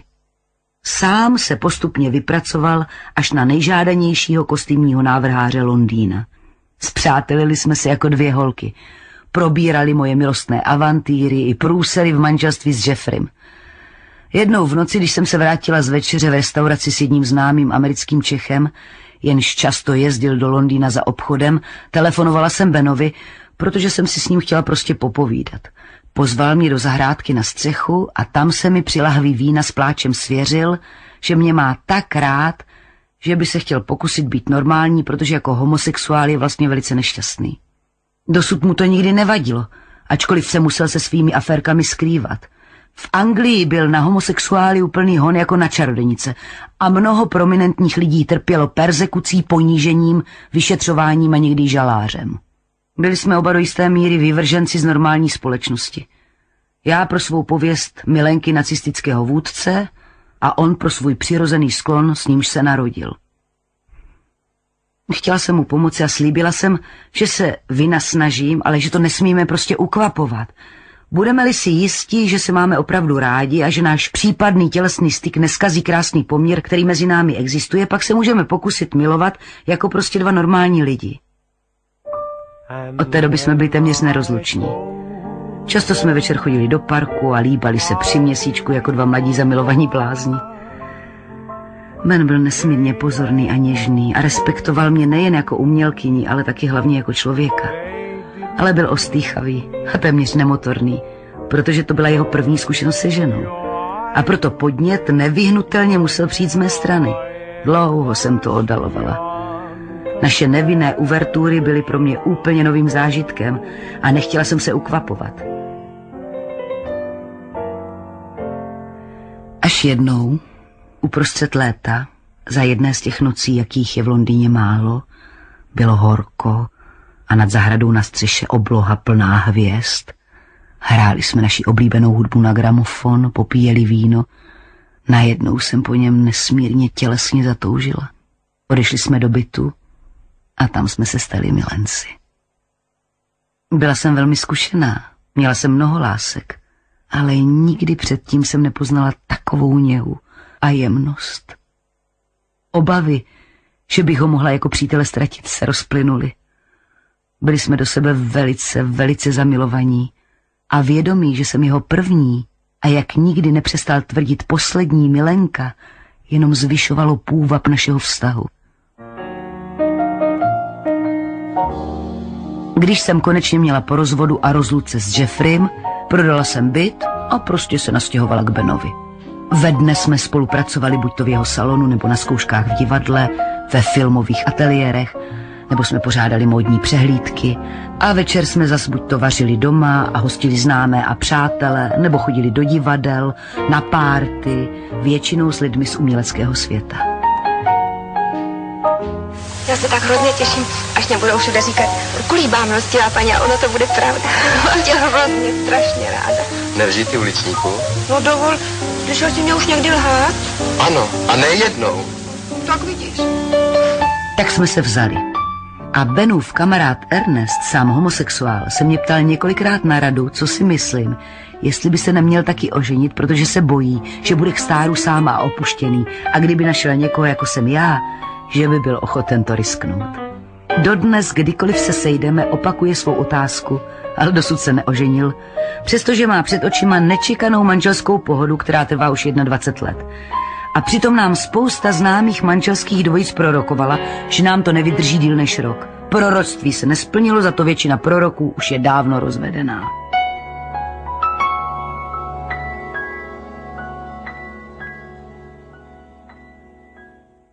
Koupili jsme dům na venkově, měli jsme velkou květinovou zahradu a zeleninovou zahradu. Já jsem začala samozřejmě hned pěstovat různé druhy zeleniny. Měli jsme malý lesík, jímž protýkal potůček, u domu tenisový kurt a několik malých hospodářských stavení. Tam jsem se rozhodla pěstovat žampiony a krmit slepice. Vracela jsem se tedy zpět do dob svého mládí, kdy jsme měli doma malé hospodářství. Jenomže místo 12 slepic a jednoho kohouta mi sedlák prodal 12 kohoutů a jednu slepici, která sice měla veselý milostný život, ale byla z toho všeho tak umořená, že nesnesla ani jedno vajíčko. Nakonec jsem musela všechny kohouty až na jednoho podřezat a uvařit mm, a začala jsem znova. Tentokrát se zaručenými 12 slepicemi. Jednou, když Ben odjel do Řecka, rozhodla jsem se navštívit Miloše Havla v Míchově, kde se usadil po svém novém útěku z Československa a potkat všechny známé a přátele, kteří tam žili a většinou pracovali ve svobodné Evropě. Tam jsem se také po dlouhé době znovu sešla s Lídou Bárovou, která žila v Salzburku a do Mnichova několikrát přijela za mnou, s Frantou Čápem, ten pracoval ve filmu, s Willy Šénelem, který po svém útěku z Československa otevřel advokátní kancelář ve Frankfurtu a vymáhal českým emigrantům náhrady za ztrátu majetku za německé okupace a s mnoha dalšími. Všichni chodili k Milošovi jako kdysi dávno v Praze. Vzpomínali na staré dávné časy, na všechny přátele, které osud rozprášil po Evropě, Americe, Austrálii. Vysedávali jsme často až do rána a řeč se netrhla. Já jsem měla Lidu vždycky moc ráda. Přestože jsme byli velké konkurentky, nikdy jsme proti sobě neintrikovali, což je v showbiznisu velice řídký jev. Samozřejmě, že jsme se z legrace popichovali. Někdy dost jedovatě, ale vždycky v dobrém. Jako jednou Lída prohlásila, že kdybych chtěla uspořádat sjezd svých bývalých milenců, nestačil by mi na to velký sál Lucerny. Načež já jsem okamžitě ocekla. V tvém případě, Liduško, by si na to musel najmout Sokolský stadion pod heslem Každý Čech jednou na Strahově. Deutsches Volk, die Entscheidung ist gefallen. Unsere deutschen Brüder und Schwestern haben in den Städten und Dörfern des Saargebiets mit dem Stimmzettel unsere deutsche Heimat verteidigt. Dieses Land ist deutsch und deutsch soll es ewig bleiben. S nás ostatně do jisté míry zbližoval i podobný osud, i když ona s Goebbelsem skutečně chodila, když to moje aféra s Frankem byl pustý nesmysl. Pamatuji se, jak jsem jí jednou před válkou vzala z Barandova autem a Lída mě najednou požádala, abych zastavila, že mi prostě něco musí říct. Poslechla jsem a Lída povídá, Adino, já jsem se zamilovala. Nebrala jsem to tragicky, protože u Lídy to nebylo poprvé, ale když mi řekla, že ten šťastný je Goebbels, začala se mi to rozmlouvat, že z toho nekouká nic dobrého, protože Goebbels je nacista. A i když jsem toho o nacistech tenkrát ještě tak moc nevěděla, tušila jsem, že tohle lidě neprospěje. Ale ona jenom vzdychla a prohlásila, že ona to všechno ví, jenom že si nemůže pomoct. Později, když jsem se s tím ďábelským doktorkem seznámila sama, pochopila jsem, že mohl zejména před válkou, když ještě nebyl tak profláknutý, mladou ženskou okouzlit. Byl velký ladiesman, i když byl tak mrňavý. Tenkrát při předvádění filmu v jeho soukromé projekci mi začal pod stolem sát na koleno a když já ho prudce odstrčila a řekla Ich will nicht zweite Lieda sein, podíval se na mě tak, že jsem si pomyslela, že mi dá rovnou odvést do basy. Ale Lída toho vzala víc než kterákoliv jiná. Když mu na to přišla jeho žena a Hitler zakročil, napsal mu prý tenkrát dopis a žádal ho, ať ho zprostí všech státních i partajních funkcí, aby mohl žít s Lídou, třeba jako obyčejný kulturní ataše někde v Jižní Americe nebo kde. To byl jak v jeho životě, tak mezi ostatními nacisty naprostý unikát. Byl ochoten vzdát se slávy a moci kvůli obyčejné herečce. Místo povolení ovšem Hitler poslal na Lídu gestapo, Zabavil jí všechno, co mohlo doktora nebo jiné pohlaváry kompromitovat, mezi jinými i Hitlerovu fotografii s věnováním a ještě ten den musela opustit Německo, jinak prý za její život neručí. No a to všechno se stalo před válkou. A pak už ho Lida nikdy neviděla. Když těsně před pádem Berlína pálil Goebbels svoje dokumenty, našel prý podle svědectví jeho tajemníka velkou lidinu fotografii, zadíval se na ní a s povzdechem prohlásil – Das war eine schöne Frau a hodil fotku do plamenů. No ale ta záležitost samozřejmě na lidě ulpila jako nesmazatelná skvrna a ona věděla, že jí to po válce neodpustí. A nakonec se nad ní smiloval Hans Albers, což byl ohromný člověk, žádný nacista a tenkrát zrovna natáčel v Praze a pomohl jí utéct k Američanům, kde si Lída hned nabrnkla nějakého amerického oficíra. Jenže oni takovéhle manželky pořádně prověřovali a když zjistili, že Lída je ta proslulá Goebbelsova femme fatal, vydali ji československé vládě a Lída nějaký čas seděla, než se jí po propuštění znova podařilo zdrhnout, tentokrát s českým manželem Kopeckým. Dost nerada jsem se s Lídou a ostatními loučila a vracela se do Anglie. Ben na mě čekal v Londýně, kam přiletěl z Aten a po cestě na sever jsme si vypravovali svoje zážitky. Věděla jsem, že nebyl v Řecku sám. Byl s ním Ernest a jeho přítel a tušila jsem, že určitě našli někoho, kdo doplnil čtyřlístek. Později se mi doma taky se vším svěřil a já mu vyklopila svůj úlet s Bobem ve Francii, kde jsem se zastavila před Mnichovem. A tak jsme se rozhodli, že v tomhle směru půjde každý svou cestou, ale v malém městě, kde nás každý zná, zachováme dekorum a nedáme lidem příležitost k drbům. Nejdůležitější bylo, že jsme se nepřestali mít rádi a že jsme dokázali zůstat nejlepšími přáteli. Tělesně jsme jeden na druhého nežárlili, naše milostná aféra skončila a co nám zůstalo, bylo mnohem důležitější, než hupsnout do postele s někým jiným. A tak jsme pro ostatní svět zůstali ideálním manželským párem. Z nedostatku umělecké práce jsem si začala zahrávat s modelováním. A pak jsem se vydala do St. Martin's School of Art za profesorem Martinem. Chtěl vidět něco, podle čeho by mohl usoudit, že mám skutečný talent a zasloužím si povzbuzení a zařazení do jeho třídy. Tak jsem lhala, že všechny moje dosavadní pokusy zůstaly v Praze, nakonec jsem se dala do pláče. Jemu to bylo zřejmě trapné, asi mě litoval, protože jsem dělala dojem chudé, ubohé emigrantky a přijal mě do třídy pro pokročilé žáky. Brzy jsem ho překvapila dovedností v modelování podle živé předlohy. Později jsem se pílí a vytrvalostí zařadila mezi skutečně talentované žáky, kterých bylo ve třídě tak asi deset. Pracovali jsme se všemi možnými materiály, s hlínou, terakotou, dřevem, železem a kromě toho jsme měli hodiny kreslení, navštěvovali jsme muzea, galerie i studia slavných sochařů. Já jsem chodila do školy ohromně ráda a měla jsem nesmírnou ctižádost nejen se hodně naučit a vyniknout, ale hlavně zapomenout na svou hereckou kariéru, kterou jsem chtěla sochařinou nahradit. Později jsem dokonce vydělala docela slušné peníze za bysty dětí, které si přátelé ode mne nechali vysochat. A pak jsem z ničeho nic dostala malou roli v seriálu The Sun s Rogerem Moorem a ta vedla k další televizní roli v seriálu Verdict is Yours. Úkol to byl velice nesnadný, zejména pro cizinku, protože vysílání se improvizovalo bez jakéhokoliv scénáře. Hercům pouze vysvětlili děj a zápletku a všechno se hrálo off the cuff, jak se tomu v Anglii říká. Představovala jsem polskou běženkyni, ta se u soudu zodpovídá s nařčení, že ovlivnila dceru lidí, u nichž bydlela, aby sfalšovala pas, na nějž bez svolení rodičů odjela do ciziny. Odehrávalo se to u soudu, soudce, advokát, státní zástupce i všichni svědkové byli herci, ale porota se stávala z lidí z ulice, kteří celkem nevěděli, že jde o hru a brali to ohromně vážně.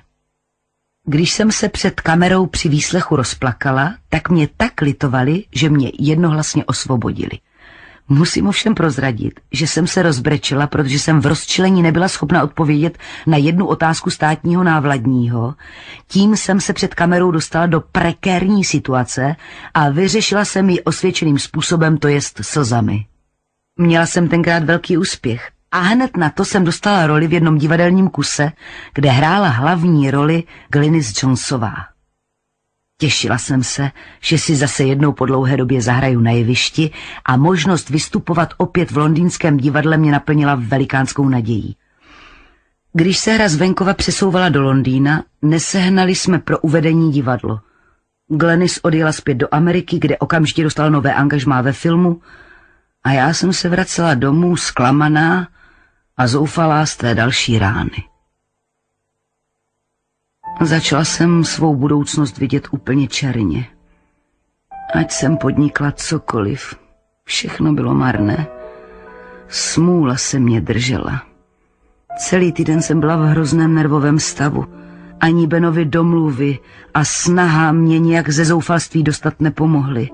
Jednou ráno, když Ben odjel do obchodu v Bazildonu, jsem se prostě otrávila. Když se vrátil večer domů, našel mě v ložnici v bezvědomí a polomrtvou. Záchranka mě odvezla do nemocnice, tam jsem ležela téměř dva dny v bezvědomí, než se doktorům podařilo napumpovat do mě nový život. Probudila jsem se na psychiatrickém oddělení a byla jsem ještě zoufalejší než předtím, že jsem naživu a že dokonce i ta sebevražda skončila fiaskem.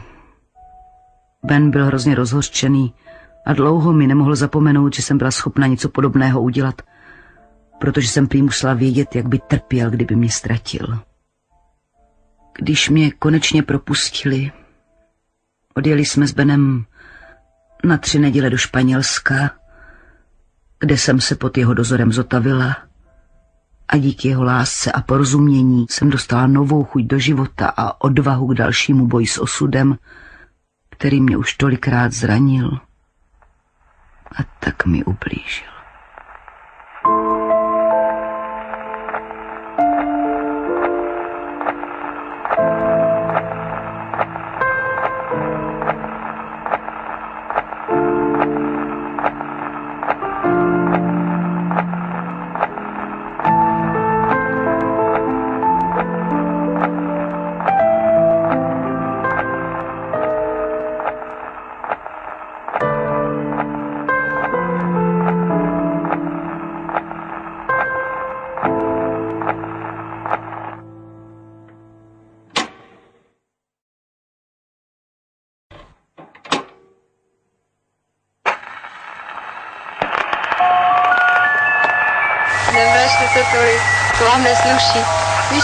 Nepřítelem žen. Máte strašně dobrácké oči. I střílete kvůli mě chtěli, jenomže mě už to unavuje a už na to taky nemám ty nervy. Já jsem tě obelhala. Totiž vlastně jsem tě ani neobelhala, ale neřekla jsem ti pravdu. Aha. Mám raději skutky. Dobrotí ne? Také. Dobročinnosti se meze nekladou. Já už nemůžu. Vy ještě nejste unavené. Já ne? Český rozhlas Olomouc uvádí vzpomínky Adiny Mandlové Dneska už se tomu směju. V režii Jakuba Vítka vypráví Simona Peková. Díl osmý, závěrečný.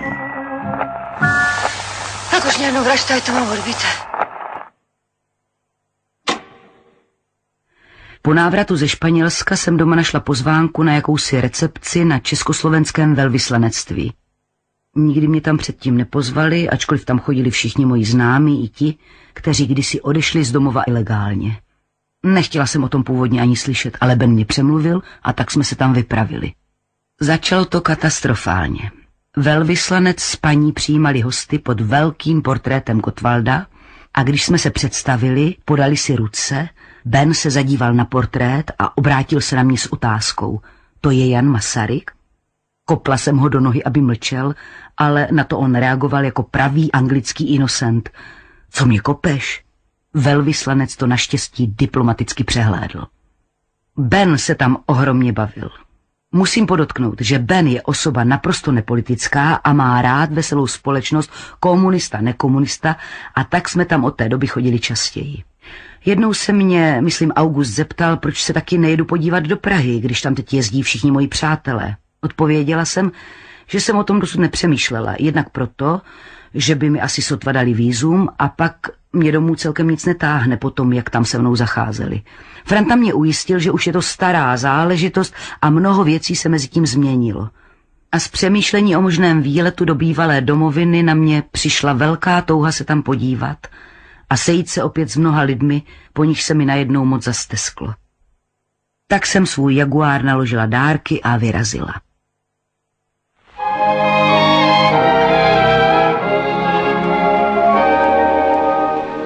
V Praze v hotelu Alkron, kde jsem měla být ubytována, mi cestu zastoupil vysoký muž, v němž jsem poznala pana Sládka z velvyslanectví v Londýně, kterého jsem kdysi dávno žádala o výzum, když mou matku operovali na rakovinu žaludku.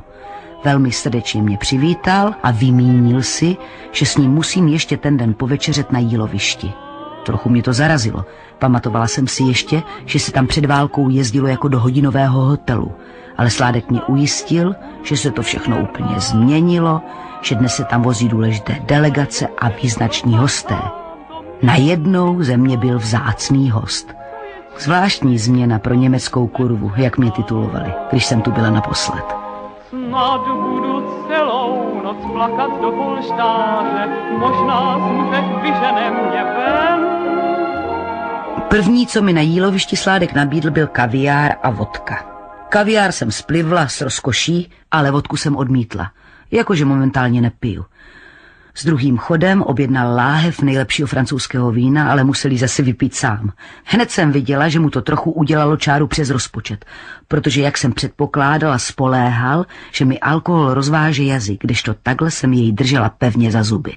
Nechala jsem ho mluvit a kdykoliv zabočil na anglické poměry a moje přátele, ať už Čechy nebo Angličany, obrátila jsem řeč na něho samého, na jeho zkušenosti a vzdělání, na Rusko, kde mu podle mého odhadu dali pro to fízlování trénink. A tak se ten první večer ode mě moc nedozvěděl a proto trval na tom, že pokud budu v Praze, musíme se častěji výdat – Ušetří mi to prý taky docházky na policii, kde bych se jinak musela hlásit, jak se to vyžaduje od všech bývalých československých občanů při první návštěvě staré vlasti. Zašla jsem si do divadla na Jaroslavu Adamovou a pak mě můj doprovod, Zdeněk Týl, manžel Verichovy sekretářky, pozval k sobě do bytu, kde prý jeho žena připravila nějakou maličkost k občerstvení. Jaké bylo moje překvapení, když jsem zjistila, že tam na mě čeká spousta mých bývalých přátel a ohromně velké studené bifé. Byla tam Liuba, Nataša, Hanka Vítová a mnoho jiných a shledání po tolika letech bylo opravdu dojemné. Nevím, jak moc jsem se změnila já. Ujišťovali mě, že vypadám neobyčejně mladě a svěže, ale sama jsem konstatovala velkou změnu u všech přítomných, zejména u chudinky Nataši, která ovdověla a byla zřejmě nešťastná a skleslá, už protože se v divadle k ničemu význačnějšímu nemohla dostat. Ale Ljuba Kvetla vypadala ohromně mladě. Byla tehdy na vrcholu slávy, zpívala v kabaretu a jezdila na estrády, vydělávala velké peníze, měla moc hezký byt na národní třídě, vlastní vůz a mladého milence. Když jsem se o tom večírku zmínila na příští schůzce Sládkovi, poradil mi, abych na staré kámoše zapomněla – Ti prý jsou už dnes pase, ovšem Ljuba, Ljuba to je něco jiného. S ní ať se prý stýkám, ať se s ní přátelím. Zřejmě to tehdy měla u komunistů velmi dobré. Vyptával se mě potom na Franka Kerryho, který je ženatý s Češkou a mluví česky plyně, protože kdysi byl nějakou dobu na anglickém velvyslanectví v Praze. Co má prý tak zejména rád? Řekla jsem mu, že podle mého názoru zejména miluje ovesnou kaši, a v tom okamžiku ztratil pan Sládek dekorum, rozzuřil se, praštil do stolu se slovy. Nedělejte si tady ze mě blázny, vím docela určitě, že jste o nich o všech dobře informována. Víme rovněž, že jste za války byla anglickou špionkou a proto jste tak lehce vyvázla z pankráce a dostala anglický pas. A proto taky nepijete, abyste se nepodřekla.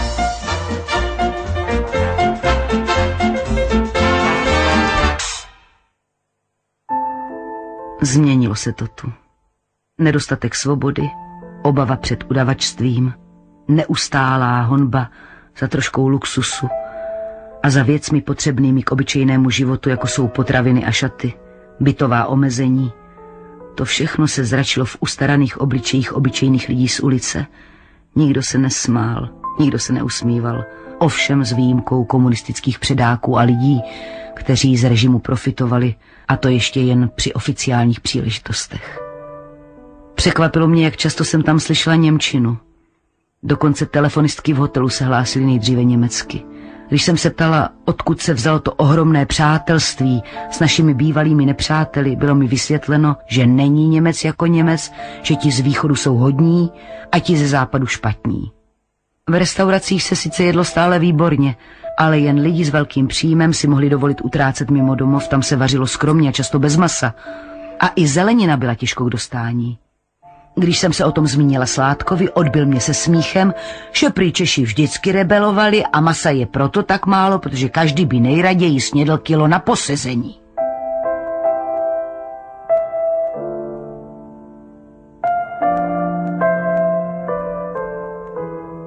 Má špionážní kariéra byla pro mě velká novinka, ale Sládek si to vymluvit nedal.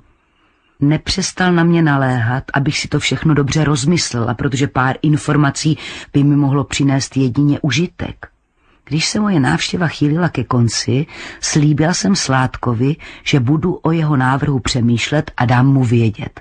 Samozřejmě, že jsem o přijetí podobného úkolu ani na okamžik neuvažovala, ale začala jsem se o trošku bát – v nestřeženém okamžiku jsem často z jeho výrazu vyčetla, že je zlý a pomstychtivý a že je schopen všeho. To mi potvrdil hlavně jednou, když se zmínil o Josefu Jostenovi, který má v Londýně tiskovou agenturu a vydává české zprávy pro emigranty. Tu židovskou svini, kdyby někdo oddělal, tak by nám prokázal velkou službu. Ten nám mezi Čechy venku dělá velkou škodu. Jak já si oddychla, když jsem konečně přijela hranice a ocitla se na svobodné německé půdě. Dostávala jsem ze svého průvodce po komunistickém ráji skutečný strach.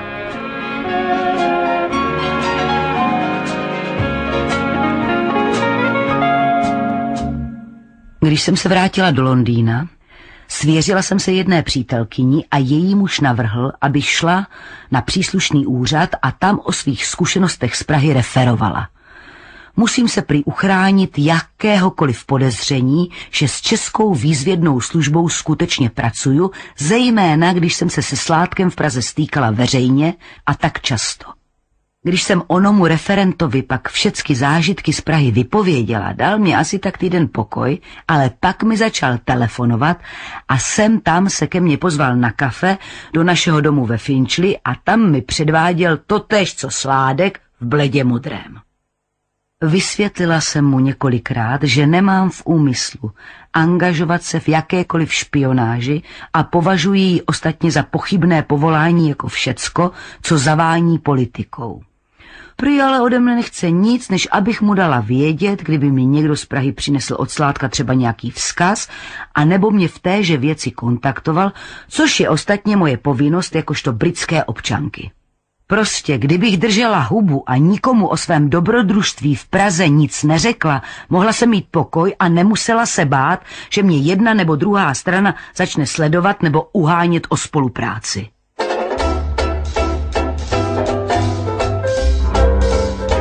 V roce 1966 v době, kdy už jsem v to vůbec nedoufala, mi volal Karel Jernek, že mě chtějí v Karlínském divadle pro titulní roli muzikálu Hello Dolly a že je přesvědčen, že v tom budu vynikající. Když jsem protestovala, že jsem nikdy v operetě nehrála a že mi na to nebude stačit můj hlas, ujistil mě, že při moderní mikrofonové technice, jaká se teď v celém světě používá, není silného hlasu zapotřebí a on ví, že to zastanu. Přece mě slyšel zpívat už moc krát. Někdo mi radil, abych nejezdila. Dokazovat, že jsem dobrá herečka nemusím, to každý ví, a v operetě, kde nejsem doma, bych si mohla tu reputaci na nejvýš zkazit. Jiní, mezi nimi moje agentka, mě přímo prosili, abych jela, protože tím bych mohla Anglii dokázat, že všechny pomluvy byly falešné, když mě Československo přijímá s omluvou. A já se nakonec rozhodla, že pojedu. Měli jsme s Benem sice rozestavěný dům na Maltě a já bych musela odehrát 200 představení, ale nabídka byla příliš lákavá. Tak dobře, ale na vaše vlastní nebezpečí. Když dva se milují, štěstí jen svoje vidí a srdce neošidí hned první den věrnosti slibují, ve sladkém roztoužení, snad osud včas to změní, jim lásky se... Do Prahy jsem přijela v květnu a hned jsem začala zkoušet. Bydlela jsem v hotelu Esplanáde ve velkém komfortu, ale hned jsem přišla na to, že mi odposlouchávají telefony, protože jsem v pokoji i v koupelně našla mikrofony. Kdo si mě upozornil, že mezi herci i technickým personálem je spousta policejních donašečů ale na oko bylo všechno v nejlepším pořádku, až na to, že jsem nebyla tak šťastná, jak jsem očekávala. Najednou jsem si uvědomila ten velký rozdíl, jaký mě dělí od ostatních členů souboru. Předně jsem nepila a nekouřila, protože jsem chtěla být svěží. Všichni ostatní, až na korbeláře, byli cítit alkoholem tak silně, že jsem se často musela odvracet, když na mě některý z herců nebo hereček promluvili, ať už ve společných scénách nebo v soukromí. Jeden kamarád mi vysvětlil, že chlast je vlastně to jediné, co na světě mají, protože jsou nespokojení, špatně placení, špatně ubytovaní, z nedostatku peněz pijou pivo a laciné kořálky, které jsou pak z člověka cítit na stohonu.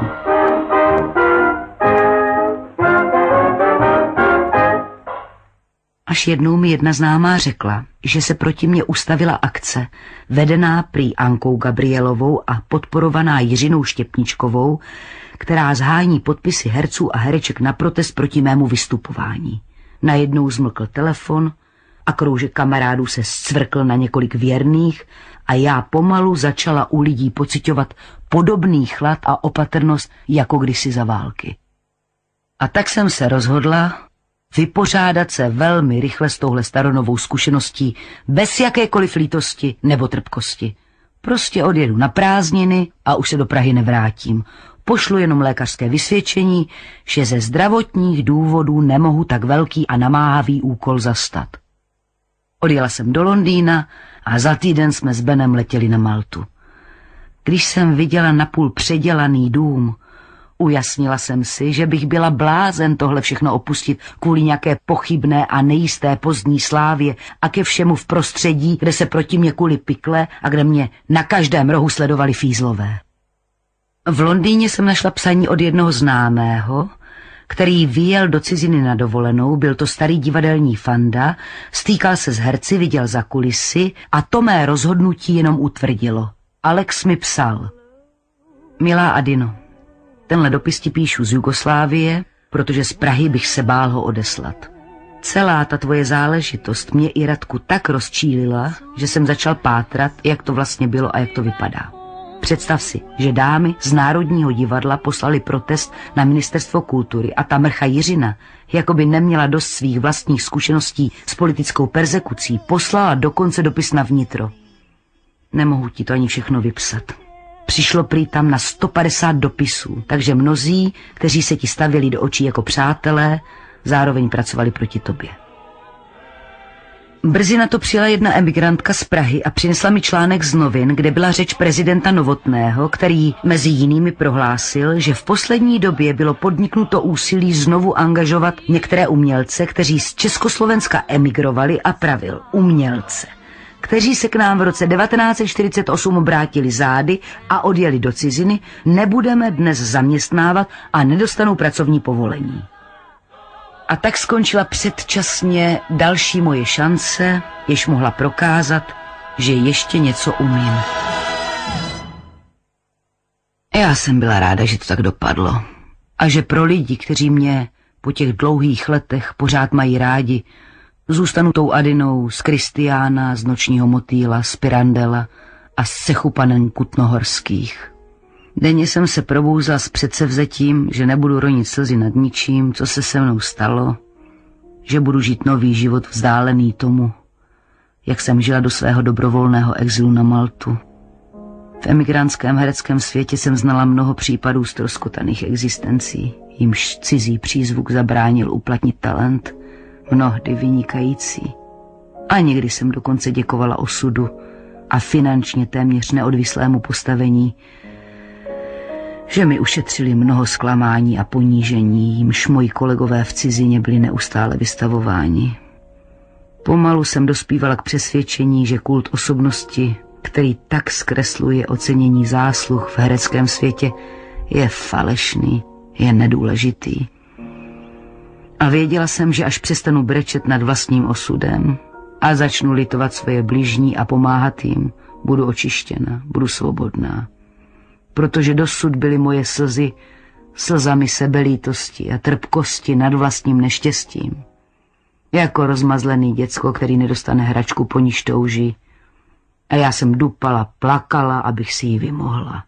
A když jsem ji konečně vlastnila, hračka pro mě ztratila půvab a já se hnala za něčím novým, obvykle nedosažitelným. Žít pro budoucnost je stejně chybné, jako žít v minulosti a jenom ten, kdo žije pro přítomnost, dovede plně ocenit, co mu dnešek přinese. Seděl jsi tam celý večer jako na trní, jako bys chtěl změnit místnost. Kdyby si mě tolik nevšímala, nepozorovala bys, že mě něco chybí. To by se ti nežilo tak dobře, drahoušku. Mám tě strašně rád. Neříkej mi to ještě chvilku, já to tak hrozně ráda poslouchám. Zbožňuji tě. Jenom mě? Vy jste horší než já, abyste věděli. Protože co já dělám veřejně, děláte tajně. Jsem doma tam, kde jsi doma ty. Žena je povinna bydlet se svým mužem a všude ho následovat. Správně. Pojďme odtud. No, mně se tady líbí. Luizo, pojďme domů. Jendi, ať jednou vidíš, jaké to je večeře doma sám. Ty to přece nemůžeš zůstat. Mohu a zůstanu. Dobrou noc, Luizo. Dobrou noc, Richarde. Takhle jsme si hráli včera. A dneska si budeme hrát jinak. Sedněte. No, dovolte. Neříkejte nic. Zavřete oči. Zavřete oči. Odcházím.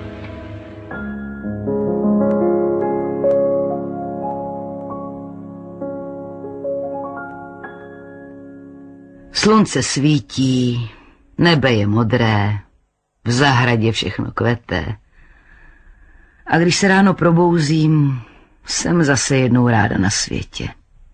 Žijeme skromně, většinu času trávíme tím, že zvelebujeme dům a zahradu, která v naší nepřítomnosti trochu spustla. Máme krásný domov a velkou radost ze všeho, co jsme na zahradě zaseli nebo zasadili. Rostou nám tam fíky, pomeranče, olivy, hrozny, zelenina, jahody a spousta keřů a stromů, oleandr, ibišek, eukalyptus.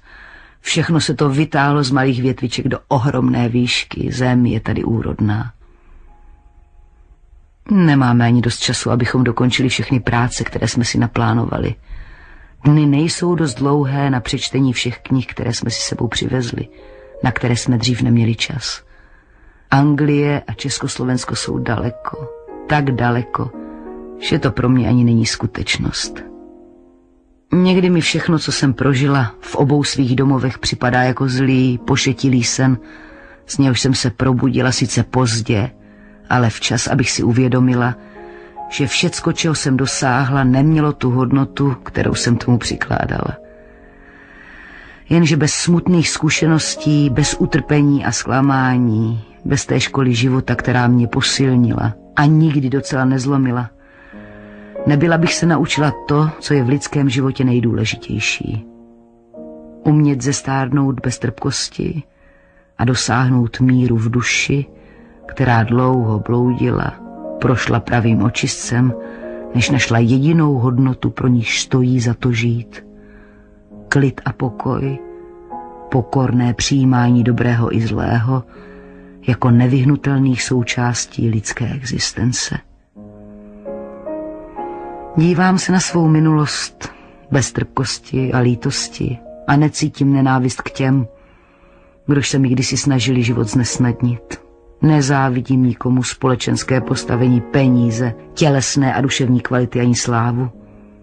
Všechno, co jsem kdysi pokládala za nesmírně důležité, je prostě najednou bezvýznamné, vzdálené, téměř cizí. Dneska už se tomu směju.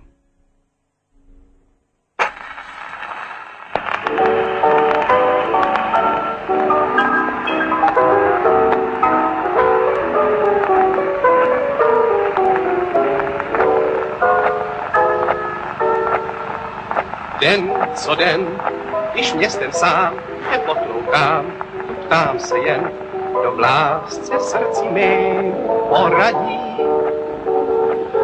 Člověk v dál se rozběhne, však život bez odoběhne a znou ze co pak řekne jen, to nevadí, to nevadí. Pro sebe jen tak si zpívám, by snad nebylo znát, že bych se bál. Když se tak na vás jen dívám, mně se zdá, že taky vím, co bude dál. Srdce, když láskou splálo, jenom aby se mu málo stalo, pro sebe zpívám a já sám, i když vím, co bude s námi dál.